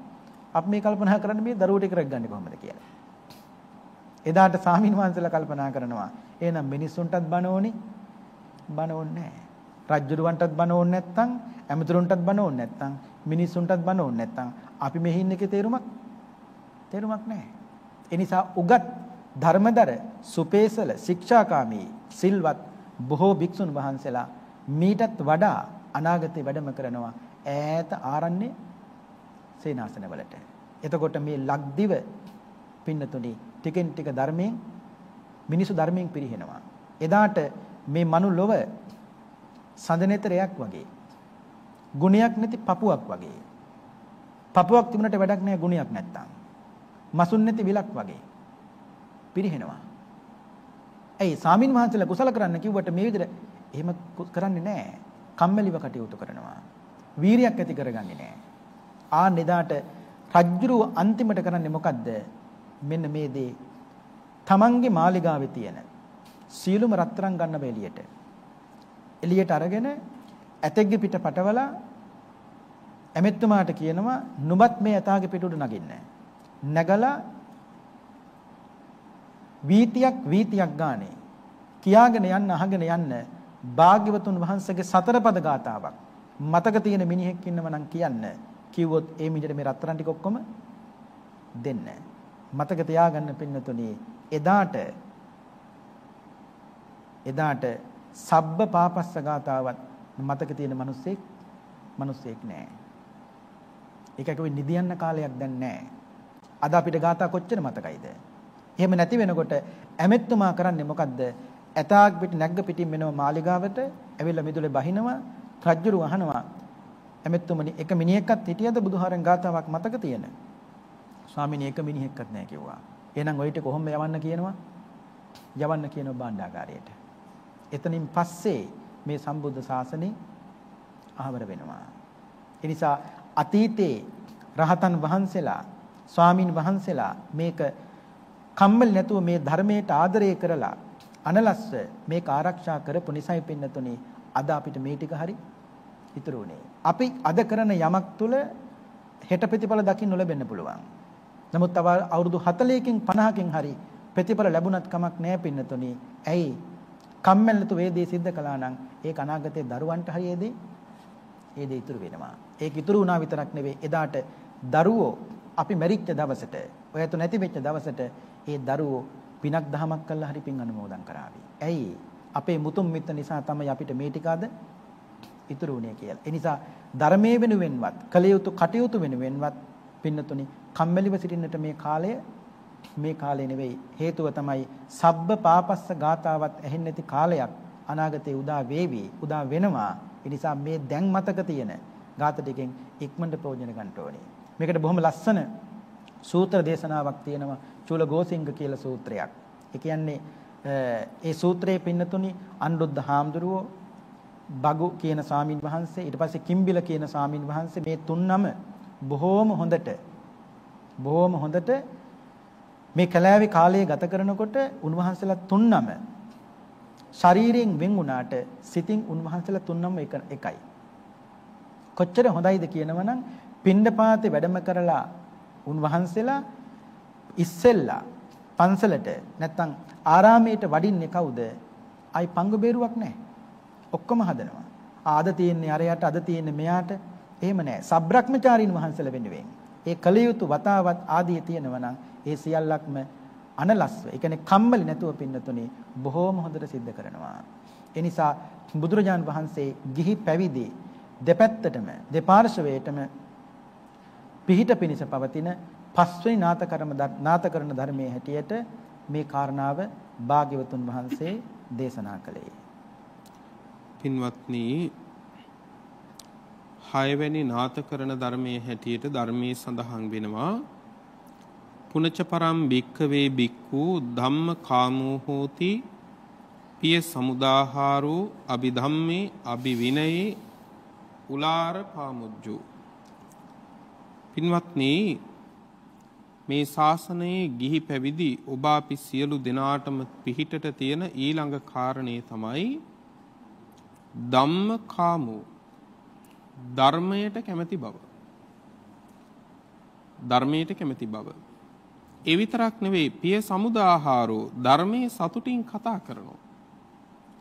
ධර්මයේ ගැන සතුටින් කතා කරනවා. ඊළඟට කියනවා අභි විනයෙහි අභි ධර්මයේහි බොහෝ ප්‍රීති ඇතිව වාසය කරනවා. ඒ කියන්නේ පින්වත්නි අපි කවුරුත් අහලා තියෙනවා පරාභව සූත්‍රයේදී. සුවිජානු භවං හෝති සුවිජානු පරාභව. හොඳට පහසුවෙන් දැනගන්න පුළුවන්ලු දියුණු වෙන කෙනත් පිරිහෙන කෙනත්. මේක දැනගන්න අමාරු නෑ කියනවා. සුවිජානෝ බවං හෝති මනාව දකින්න පුළුවන් හොඳට තේරුම් ගන්න පුළුවන් දියුණු වෙන කෙනයි පිරිහෙන කෙනයි. මොකද්ද කාරණය? ධම්මකාමෝ බවං හෝති ධම්මදෙස්සි පරාභවෝ ධර්මයට කැමති කෙනා දියුණු වෙනවා ධර්මයට ද්වේෂ කරන ධර්මයට පාපහර දෙන කෙනා පිරිහෙනවා ධර්මයට පාපහර දෙන ධර්මයට නිගරු කරන කෙනා ද්වේෂ කරන කෙනා පින්වත් පිරිහෙනවා එතකොට නාත කරන ධර්මයක් ධර්මයට ඇති කැමැත්ත පින්වත් ඊළඟට පින්වත්නි මතක තියාගන්න ධර්මයට ප්‍රිය සතුටින් ප්‍රිය මනාපව ධර්මයේ ගැන කතා කරනවා පින්වත්නි. පින්වත්නි පෙර එක උපාසකයෝ පිරිසක් එක උපාසකයෙකුත් තව විශාල මිනිස්සු ප්‍රමාණයකුත් එකතු වෙලා නැව් නැගලා පින්වත්නි පිටත් වුණා වෙලෙහින දාම් කරන්න. හත් දිනක් පින්වත්නි මේ නැව මහ මුහුද යාත්‍රා කළා. මේ නැවේ හිටියා ඔක්කොම සෙනග 700ක්. හත් දිනක් විතර වගේ පින්වත්නි මේ නැව යාත්‍රා කළාට පස්සේ මහ මුහුද මැද පින්වත්නි මේ නැව ගිලෙන පටන් ගත්තා. දැන් පින්වත්නි මේ නැව ටිකෙන් ටික ටිකෙන් ටික ටිකෙන් ටික ගිලෙනකොට නැවේ ඉන්න මිනිස්සු මොකද කළේ? පින්වත්නි මහා විලාප කියමින් අඬන්න පටන් ගත්තා. එයි ගේ දොර දරු මල්ලෝ මතක් කරනවා අඬනවා. බේරගන්න කියලා අනුන්ගේ පිහිට ඉල්ලනවා. දැන් මේ කියන්නේ තමන්ගේ පිහිට හදාගන්න ක්‍රමේ. හැබැයි ලෝකේ තමන්ගේ පිහිට හදාගත්තු නැති හැමෝම හැමදාම කලේ පින්නත් නේ අනුන්ගේ පිහිට බලාපොරොත්තු වෙච්ච එකද නැද්ද? අනුන්ගේ පිහිට බලාපොරොත්තු වෙච්ච එක. දැන් මේ නැවේ ඉන්න මිනිස්සු ටික පින්නත් නැව පුරාම දුවනවා. ඇයි මරණ බයත් එක්කනේ. නැව පුරාම දුවනවා. හැබැයි මේ මිනිසුන්ට තේරෙන්නේ මේ දුවන දෙවිලි ඔක්කොම කොහෙද? ගිලෙන නැවීම තමයි. අපිත් එහෙමයි මේ ඔක්කොම දුවන දිවිලි ගිලෙන නැවේද නැද්ද? ගිලෙන නැවක. ඔය ඔක්කොම දිවිලි ඉවරයි පින්වත්නි. තව ටික කාලෙකින්. දැන් අර මිනිස්සු ඔක්කොම නැවේ දුවනවා. එහාට මෙහාට පිහිට ඉල්ලගෙන අනුන්ට කියාගෙන විලාප තියාගෙන දුවනවා. හැබැයි දුවන ගමන් බලනවා මේ මිනිස්සු වෙනත්නි එක උපාසකෙක් පැත්තකට වෙලා වාඩි වෙලා බොහොම සංසුන්ව ශාන්තව ඉන්නවා. හැබැයි එහෙම හිටියේ මතක තියාගන්න 700කින් එක්කෙනයි ඈ. 700කින් එක්කෙනයි. අනෙක් නැවේ ඔක්කොම දුවනවා පින්වත් ඉගිලෙන නැවේ. දැන් අර මිනිස්සු දුවන ගමන් වට වෙලා ඇහුවා මේ උපාසකේ මේ අපි මෙච්චර මරණ බයෙන් දුවද්දි නුඹ කොහොමද මේ තරම් සංසුන්ව ඉන්නේ මෙතන? මේ ගිලෙන නැවේ. මොකක්ද උපාසකතුමා කිව්වේ? මම මේ නැවට නගින දවසේ මහා සංඝරත්නයට සංඝසතු ධනක් දීලා උන්වහන්සේලා ඉදිරියේ තිසරණ සහිත පන්සිල් සමාදන් වුණා කිව්වා. මහා ධනක් දීලා මහා සංඝරත්නයෙන් තිසරණ සහිත පන්සිල් සමාදන් වුණා කිව්වා. ඒ සමාදන් වෙලා තමයි මම මේ නැවට නැග්ගේ. ඒ වෙලාවේ ඉඳන් මේ මොහොත දක්වා මගේ තිසරණේ කිලුටු වෙලත් නැහැ. මං සමාදන් වෙච්ච සිල්පද ටික බිඳිලත් නැහැ කිව්වා. අන්න ඒ නිසා තමයි කිව්වා මම මෙහෙම සංසුන්ව ඉන්නේ මොකද කොහොමත් මැරෙන මගේ ජීවිතේ මෙතනින් මරණය වෙයි. හැබැයි මම මැරිලා දුගතිය වැටෙන්නේ නැහැ කියන රැකවරණේ සහතික කරගෙන ඉන්නේ කිව්වා. මැරෙන එක අරුමයක් නැහැ පින්වත්නි. කෙනෙක් අපිව මැරුවත් ඒකෙත් 아무තු අරුමයක් නැහැ. මොකද කොහොමත් මැරෙන්න ඉන්නයිනේ. අපිට නැති මරණයක් දෙනව නෙවෙයි. නේද? කොහොමත් තියෙන මරණේ. මං අන්න ඒ තිසරණ සහිත පංචශීලය නිසා තමයි කිව්වා මේ සැනසෙල්ලෙන් ඉන්නේ මගේ රැකවරණේ මට තියෙනවා කිව්වා. දැන් අර මිනිස්සු මරණ බයෙන් කිව්වනේ උපාසකතුමනි ওই රැකවරණේ අපිටත් දෙන්න බැයිද? හොඳයි දෙන්නම් කිව්වා. 700 පින්නතුනේ 100 බැගින් කොටස් 7කට බෙදුවා. පළවෙනි පිරිසට මේ උපාසකතුමා පින්නතුනේ තිසරණ සහිත පන්සිල් සමාදන් කරවනකොට ඒ මිනිස්සුන්ගේ ගොප් ඇටේ දක්වා ගොප් ඇටේ කියන්නේ මේ කකුල් වල තියෙන පහළම සංදිය. එතෙන් දෙනකම් වතුර යට වෙලා. ඒත් මේ මිනිස්සු තිසරණ සහිත පන්සිල් සමාදන් වුණා.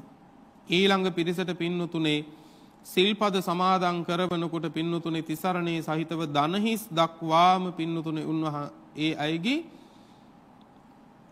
වතුර පිරීලා මේ විදිහට පින්නතුනේ මේ පිරිස් ඔක්කොම ටික අන්තිමේදී පිරිස වතුර පෙවි පෙවි පෙවි පෙවි තමයි පින්නතුනේ තිසරණ සහිත පංචශීලයේ පිහිටගත්තේ. රකින්න කියලාවත් අමුතු කාලයක් නැහැ. හැබැයි සමාදන් වෙන වෙලාවේ මේ තමයි අපිට තියෙන එකම රැකවරණය කියන විශ්වාසයෙන්ම තිසරණය සහිත පංචශීලයේ සමාදන් වෙලා පිහිටගත්තා. මේ සියල්ලෝම නැව ගිලිලා මරණයටපත් වුණා මරණයටපත් වුණා වගේම පින්නතුනේ මේ සියලු දෙනාම එකම දිව්‍ය විමානයක පින්නතුනේ පහළ වුණා අර ප්‍රධාන උපාසකතුමාට ඉහලින් විශාල දිව්‍ය විමානයකුත් ඊට පහලින් අන් සියලු දෙනාටම දිව්‍ය විමාන සහිතව පහළ වුණා. මොන කුසලයකින්ද? සත්පුරුෂ සද්ධර්මයක් උසස් ලෙස වර්ණනා කළ කුසලයෙන් අන්න ඒ කුසලයෙන් උපන්න මේ දේව පිරිසට නමක් කියනවා සතුල්ලපකායික දෙවියෝ කියලා. එතකොට බලන්න ඒකයි කිව්වේ ධර්මයට කැමති වෙන්න ඕනේ. ඒ ධර්මයට කැමති වෙනවා වගේම ධර්මය පිළිබඳව සතුටින් කතා කරන්න ඕන ධර්මයෙන් සතුටු වෙන්න ඕන. ඒ තමයි පින්නතුනේ හයවැනි නාත කරන ධර්මයේ. පින්වත්නි බුදුරජාණන් වහන්සේ හත්තුනි නාත කරන ධර්මයේ හැටියට දේශනා කළේ පුනච පරං භික්කවේ භික්ඛු ආරද්ධ විරියෝ විහෙරති අකුසලානං ධම්මානං පහනාය කුසලානං ධම්මානං උපසම්පදාය කෙටියෙන්ම කියනවනම් ආරද්ධ විරිය කියලා කියන්නේ පටන්ගත් වීරිය. ඒ වීරිය කවදාවත් පින්නතුනි අතහරින්නට හොඳ නෑ. පින්නතුන්ට මතකයි කසී බාරද්වාජ සූත්‍රයේදී බුදුරජාණන් වහන්සේ බාරද්වාජට කියනවා බාරද්වාජ නුඹ කුඹුර වැඩිපුර හාගන්න ඕන වුණාම ගොන්නු හතරක් බඳිනව එක නගුලේ. බැඳලා වැඩිපුර හාගන්නවා. ඒ වගේ බුදුහාමුදුරුවෝ දේශනා කරනවා මමත් සතර සම්‍යක් ප්‍රධාන වීරිය පාවිච්චි කරපු නිසා මට ඊතා ඉක්මනින් බුද්ධත්වයටපත් වෙන්නත් පුළුවන්කම ලැබුණා. ඒ විතරක් නෙවෙයි බුදුහාමුදුරුවෝ දේශනා කරනවා යම්කිසි කෙනෙක් කුසලයේ සඳහා පසුබට වෙනව නම් භාග්‍යතුන් වහන්සේ බින්ද දුක මතක් කරගන්න ඕනේ. බුදුහාර බින්ද දුක මතක් කරගන්න ඕනේ. ඒ දුක මතක් කරගන්නකොට තේරුම් ගන්න පුළුවන් පින්නතුනි අනේ මං විඳින දුක මොකද්ද?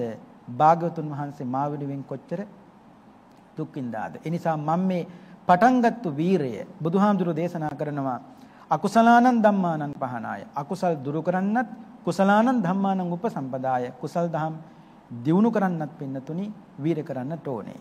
බුදුහාරු අර කසී භාරද්වාජට මතක් කරනව දවසක් ඒ සූත්‍රයේම භාරද්වාජ නුඹ සීසාල අවසන් වුණාට පස්සේ ගොන්නු අතහරිනවා. හැබැයි ඊළඟ කන්නේදී නුඹට ගොන්නු ආපහු ඕන වෙනවා. හැබැයි මම එක ගොනෙක්වත් අතහැරියේ නෑ කිව්වා. ගොන්නු තමයි වීරය කියලා කියන්නේ. ඒ කියන්නේ මම දීපංකර පාදමූලේ පටන් මේ දක්වා මේ ආපු ගමනේදී අසංඛ්‍ය හතරකුත් කල්පලක්ෂයක් තිස්සේ පාරමී ධර්ම සම්පූර්ණ කරලා බුද්ධත්වයට පත් වෙනකන් මං එක ගොනෙක්වත් අතහැරියේ නෑ. එක ගොනෙක්වත් කියලා කියන්නේ එක වීරියක්වත් මං අතහැරියේ නෑ කියලා කියනවා. නුඹ ගොන්නු අතහරින නුඹේ වැඩේ කරගත්තට පස්සේ නමුත් මම එහෙම ගොන්නු අතහැරියේ නෑ කිව්වා. වීරිය අතහැරි. ඒ පටන් ගත්තු වීරිය තුල තමයි පින්නතුනේ භාග්‍යවතුන් වහන්සේට ඊතා ඉක්මනින් බුද්ධත්වයටත් පත් වෙන්න පුළුවන්කම ලැබුණේ. ඒ වීරියදී පින්නතුන්ට මතකනේ බඩාලනකොට අහුනේ පිටකොන්ද පිටකොන්දල අහුනකොට බඩ මේ බඩත් පිටකොන්දත් දෙක එකට ඇලුනා. නමුත් උන්වහන්සේ තමන් වහන්සේ කුසල්සිත විනාශ කරගත්තද? නෑ.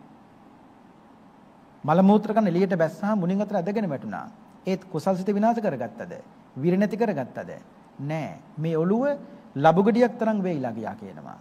ඒත් කුසල්සිත විනාශ කරගත්තද? පටන් ගත්තු වීරිය කවදාවත් බුදුහාමුදුරුවෝ පහතන් වහන්සේ විනාශ කරගත්තේ නෑ. එක දවසක් භාගතුන් වහන්සේ සාරිපුත්ත මහරහතන් වහන්සේට කියන සාරිපුත්ත මම බුදු වෙන්න කලින් සුසාන භූමියට ගියා දවසක් භාවනා කරන්න. එතකොට මට නිදිමත හැදුනා. මම කරපු දේ තමයි සුසාන භූමියේ තිබුණු මිනි යටකටෝ එකතු කොල් අරගෙන ඒකෙන් පොට්ටනියක් හදාගෙන ඒ කොළුවට තියලා සුසාන භූමියේ බුදිය ගත්තේ. එහෙම නිදන් ඉන්නකොට හරක් බන ළමයි, ඒ කියන්නේ ගොපළු දරුවෝ කෝට්ටක් කරන් ඇවිල්ලා මගේ කන් වලට කෝට වලින් යන්න කිව්වා. නමුත් සාරිපුත්ත මගේ කන් වලට කෝට වලින් යන්නපෝ. එකම ගොපළු දරුවෙක් කෙරෙහිවත් මට මගේ හිතේ කිසියම් ද්වේෂයක් තරහවක් වෛරයක් ඇති බවක් මට මතක නෑ. මට එහෙම දුක් විඳලා හරි කමක් නෑ. වීරිය අරගෙන මට උරුණේ සාරිපුත්ත සම්මා සම්බුද්ධත්වයට පත් වෙන්නයි කිව්වා. ඒ නිසා බුදුරජාණන් වහන්සේ මේ නාතකරණ සූත්‍රයේදී හත්වෙනි නාතකරණ ධර්මයේ හැටියට දේශනා කළේ පින්නතුනි ආරද්ධ වීරය. ඒ කියන්නේ පටන්ගත්තු වීරය නොසිදී කුසල් දියුණු කරන්නට දියුණු කරන්නට කියලයි බුදුරජාණන් වහන්සේ අපිට අවවාද කළේ අනුශාසනා කළේ. පින්වත්නි අටවෙනි නාතකරණ ධර්මය පුනච පරම්බික්කවේ බික්කු සන්තුට්ටෝ හෝති ඊතරීතර චීවර පිණ්ඩපාත සේනාසන ගිලානපච්චේ බේසජ්ජ පරික්ඛාරේන ස්වාමින් වහන්සේ නමක් නම් ලැබෙන ලැබෙන සිවුරෙන් ලැබෙන ලැබෙන සෙනසුරෙන් ලැබෙන ලැබෙන බෙහෙත් පිරිකරෙන් ලැබෙන ලැබෙන දානයෙන් සතුටු වෙන්න ඕන. ඒ කියන්නේ ලද දෙහින් සතුටු වීම. මේකට කියනවා යථාලාභ සන්තුට්ඨිය. එතකොට මේක ගිහි ඔබ ඔබට අදාළ කරගන්නකොට ගිහි ජීවිතය තුල කෙනෙක් යමක් උපයා ගන්න වෙහෙසින්න වෙනවා. වෙහෙසුනාමත් වෙහෙසෙන තරමටම සමහර විටකදී ලැබෙන්නේ නැහනේ. ඒ වෙහෙසෙද්දි යමක් ලැබෙනවා නම් ඒ ලැබෙන ටිකෙන් උනත් සතුටු වෙන්න.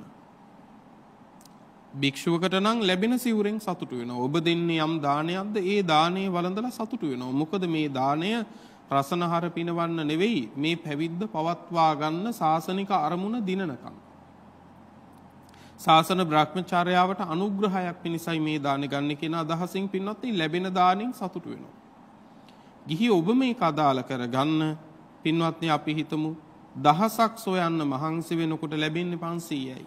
දැන් ඔබ හිතලා බලන්න ඔබ 500ක් නොලැබිච්ච එක ගැන තැවෙන එකද කරන්නේ ලැබිච්ච 1000 ගැන සතුටු වෙන එකද කරන්නේ? ඈ ඔබට වැඩියෙන්ම පුරුදු ලැබිච්ච 500 ගැන සතුටු වෙන එක නෙවෙයි. පුරුදු මොකද්ද? නොලැබිච්ච 500 ගැන දුක් වෙන එක. ඔබට කියන්නේ ජීවිතේ පිහිටක් හදාගන්න, සැනසෙල්ලක් හදාගන්න, ලැබිච්ච 500 ගැන සතුටු වෙන්න. ඒක පහසු ක්‍රමයක්.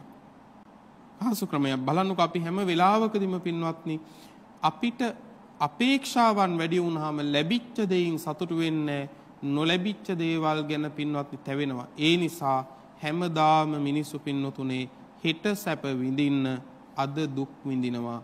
අද දුක් විඳින එක තමයි ලොකුම සැපේ බවට මිනිස්සු පත් කරගෙන ඉන්නේ. ඒ නිසා ලැබෙන දෙයකින් සතුටු වෙන්න පුරුද්දක් හදාගන්න. එහෙම වුණාම අපේක්ෂා අඩු කරගන්න. ඒකට කියනවා අල්පේච්ඡතාවය. එතකොට ලද දෙහිකින් සතුටු වෙන්න ලැබෙන ප්‍රමාණයකින් සතුටු වෙන අඩුම තරමේ මේ සසරේ පින්නතුනේ මනුස්ස භවයක් ලැබිච්ච එක ගැනවත් පින්නත් සතුටු වෙන්නේ නැහෙනි. අපි ඒකෙනුත් සතුටු වෙන්න එපා. එද මනුස්ස භවයක් ලැබිච්ච එක ගැන පවා සතුටු වෙන්න ඕන. උපතින්ම අන්දායේ ඉන්නකොට මේ දැස පේන එක ගැන අපි සතුටු වෙන්න ඕනද නැද්ද? සතුටු වෙන්න ඕන පින්වත්නි.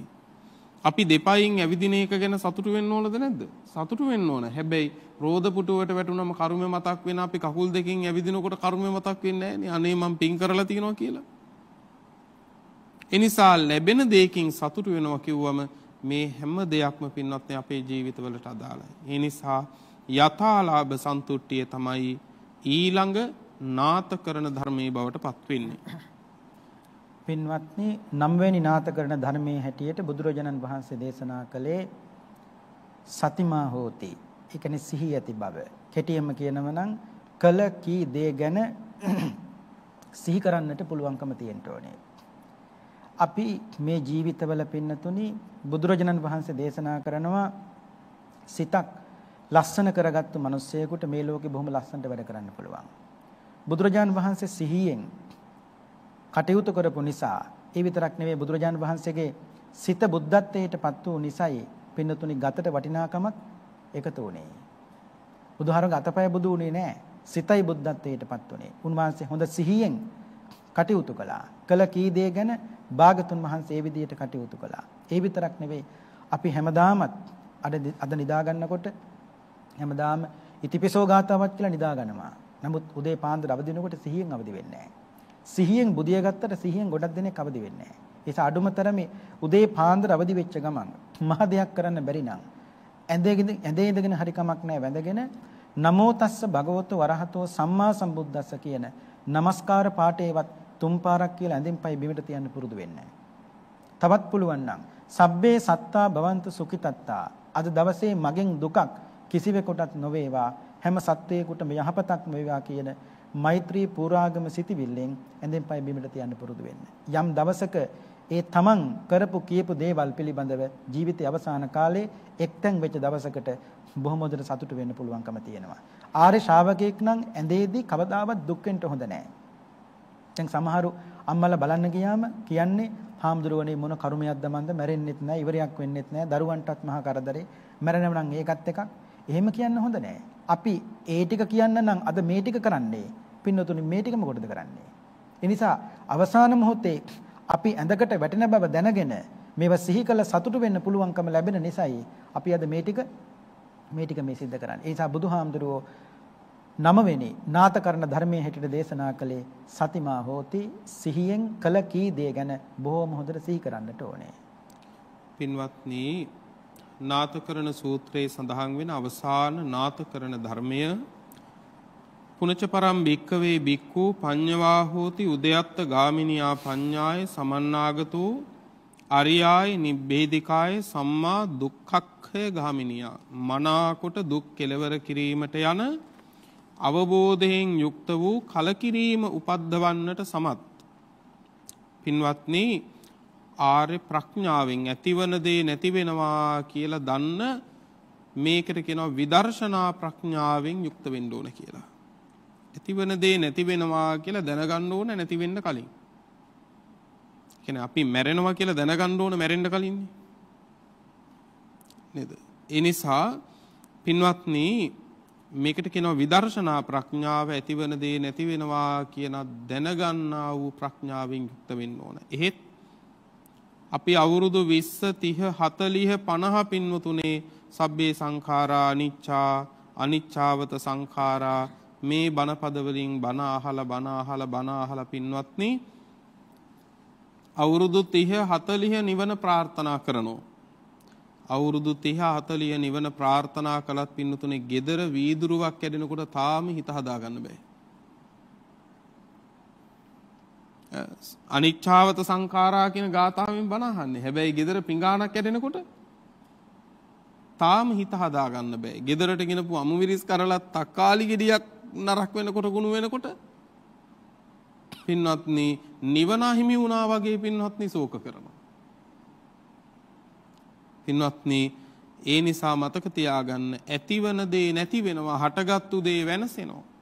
මෙන්න මේක දකින මේ විදර්ශනා ප්‍රඥාවෙන් අපි සමන්වාගත වෙන්න ඕන. දහම් මැස පහළ වුණා කිව්වේ ධම්සක් පැවතුම් සූත්‍රෙදී කුමකින්ද? පින්වත්නි යංකින්චි සමුදය ධම්මං සබ්බන්තං නිරෝධ ධම්මං කියන කාරණය අවබෝධ වෙච්ච තැනනේ. ඒ නිසා පින්වත්නි යම් ධර්මයක් හටගත්තනම් හටගත්තු දේ නැති වෙනවා කියන එක නැති වෙන්න කලින්ම පින්නතුනේ මනසට නගා ගන්න අපි දක්ෂ වෙන්න ඕන. මේ තමයි නාත කරන සූත්‍රයේ සඳහන් වෙන අපට පිහිට පිලිසරණ පිණිස ගොඩනගා ගන්න තියෙන අවසාන නාත කරන ධර්මයේ හැටියට තථාගතයන් වහන්සේ දේශනා කොට වදාළේ. පින්වත්නි අද උදුවප්පුර පසළොස්වක පොහෝ දින යුගාසන ධර්ම දේශනාවෙහි දායකත්වයේ භාරගෙන කටයුතු කරන්නේ නිව්යෝර්ක් පදිංචි චාන්දනී සුදසිංහ සොහයුරිය ප්‍රධානත්වයෙන් කුමාරි පෙරේරා එවාගෙන් විරාණි දංගල්ල, කීන්ස්ලි පෙරේරා, රුවන්දි සිල්වා ඇතුළු පවුලේ සහෝදර සහෝදරියන් එවාගේම දූපුතුන්. බලාපොරොත්තු වන්නේ මී පරලොව සපත් වන්ට යෙදුණු ජී.එස්. පෙරේරා පියාණන්ට, ඇග්නස් පෙරේරා මෑණියන්ට, ඒ.කේ.ඩී. ජයසේන පියාණන්ට, නන්දනී ජයසේන මෑණියන්ට නමින් මියගිය සියලුම ඥාතීන්ටත් මව්දෙමව්පියාදී හිතවත් හැමදෙනාටම මේ පින් අනුමෝදන් වේවා කියන උතුම් ප්‍රාර්ථනාව. ඒ වගේම ආශිර්වාද කරනවා අද උපන්දිනයේ සමරන කුමාරි පෙරේරා සහෝදරියට මේ මාස 22 වෙනි දිනදා 22 වෙනි දින උපන්දිනයේ සැමරූ සිසිර දංගල්ල සහෝදරයාට ඒ වගේම මේ මාස 20 වෙනිදා උපන්දිනයේ සැමරූ නිව්යෝර්ක් පදිංචි විනෝෂා සුදසිංහ දියණියට මේ මාස 18 වන දින උපන්දිනයේ සැමරූ රුවන්දි සිල්වා දියණියට මේ මාස 8 වන දින උපන්දිනයේ සැමරූ පසං නොවින්ද පෙරේරා පුතුණුවන්ටත් එවාගෙන් ප්‍රතිකාර ලැබමින් සිටින අනුස්ක සිල්වා පුතුණුවන්ට නිදුක් නිරෝගී ඉක්මන් සුවපත් භාවයේම ලැබේවා. උපන්දින සිහිපත් කළ හැම දිනාටම තෙරුවන් සරණින් සුබ උපන්දිනයකට තෙරුවනේ ආශිර්වාදයක් දෙවියන්ගේ රැකවරණයක් ලැබේවායි සාදු කියලා ප්‍රාර්ථනා කරන්න ආශිර්වාද කරන්න. ඒ වගේම සියලු දෙවියන්ට පින් අනුමෝදන් කිරීම ධර්ම දේශනා සිද්ධ කළ ස්වාමින් වහන්සේලාට ආශිර්වාද කිරීම දෙමව්පියන්ට සහෝදර සහෝදරියන්ට දූ දරුවන්ට ආශිර්වාද කරන අතර මේ කොවිඩ් වසංගතය දුරු කිරීමට කැපවෙන සියලු දෙනාටම ආශිර්වාද කිරීම එවාගේම බෞද්ධ ආමාද්‍ය ජාලයේ සමස්ත කාර්ය මණ්ඩලයට උතුම් තෙරුවනේ ආශිර්වාදය ප්‍රාර්ථනා කිරීම. එවාගේම මේ යුගාසන ධර්මානුශාසනාවෙහි අනිත් දායකත්වය අමෘතා සුවඳ හඳුන් කුරු නිෂ්පාදනය කර බෙදා හරු ලබන ඩාලි බට්ලර් සහ සමාගමේ අධ්‍යක්ෂ සංජීව ගුණවර්ධන මහතා ප්‍රධාන ඒ කාර්ය මණ්ඩලයේ හැමදෙනාටම රත්නත්‍රේ ආශිර්වාදේ ප්‍රාර්ථනා කිරීමත් ඒ ආයතනය තුල සේවය කරමින් සිට ඉඳලා මිය පරලොව සපත් වන්ට යෙදුණු හැමදෙනාටම මේ පින් අනුමෝදන් වේවා. සසර දුක් කෙලවර උතුම් අමාමහ නිවනින්ම නිවි ඒ ඇත්තෝ සැනසෙත්වා කියන උතුම් ප්‍රාර්ථනාව. ඒ ප්‍රාර්ථනාවත් ඇතිව අපි දෙවියන්ට පින් අනුමෝදන් කරමු. ආකාසට්ඨා ච බුම්මට්ඨා දේවානාගා මහිද්దికා පුඤ්ඤන්තං අනුමෝදිත්වා චිරං රක්칸තු සාසනං ආකාසට්ඨා ච බුම්මට්ඨා දේවානාගා මහිද්దికා පුඤ්ඤන්තං අනුමෝදිත්වා චිරන් රක්ඛන්තු දේශනං ආකාසට්ටා ච බුම්මට්ටා චුම්මත්තා දේවානාගා මහිද්దికා පුඤ්ඤන්තං අනුමෝදිත්වා චිරන් රක්ඛන්තු ත්වං සදා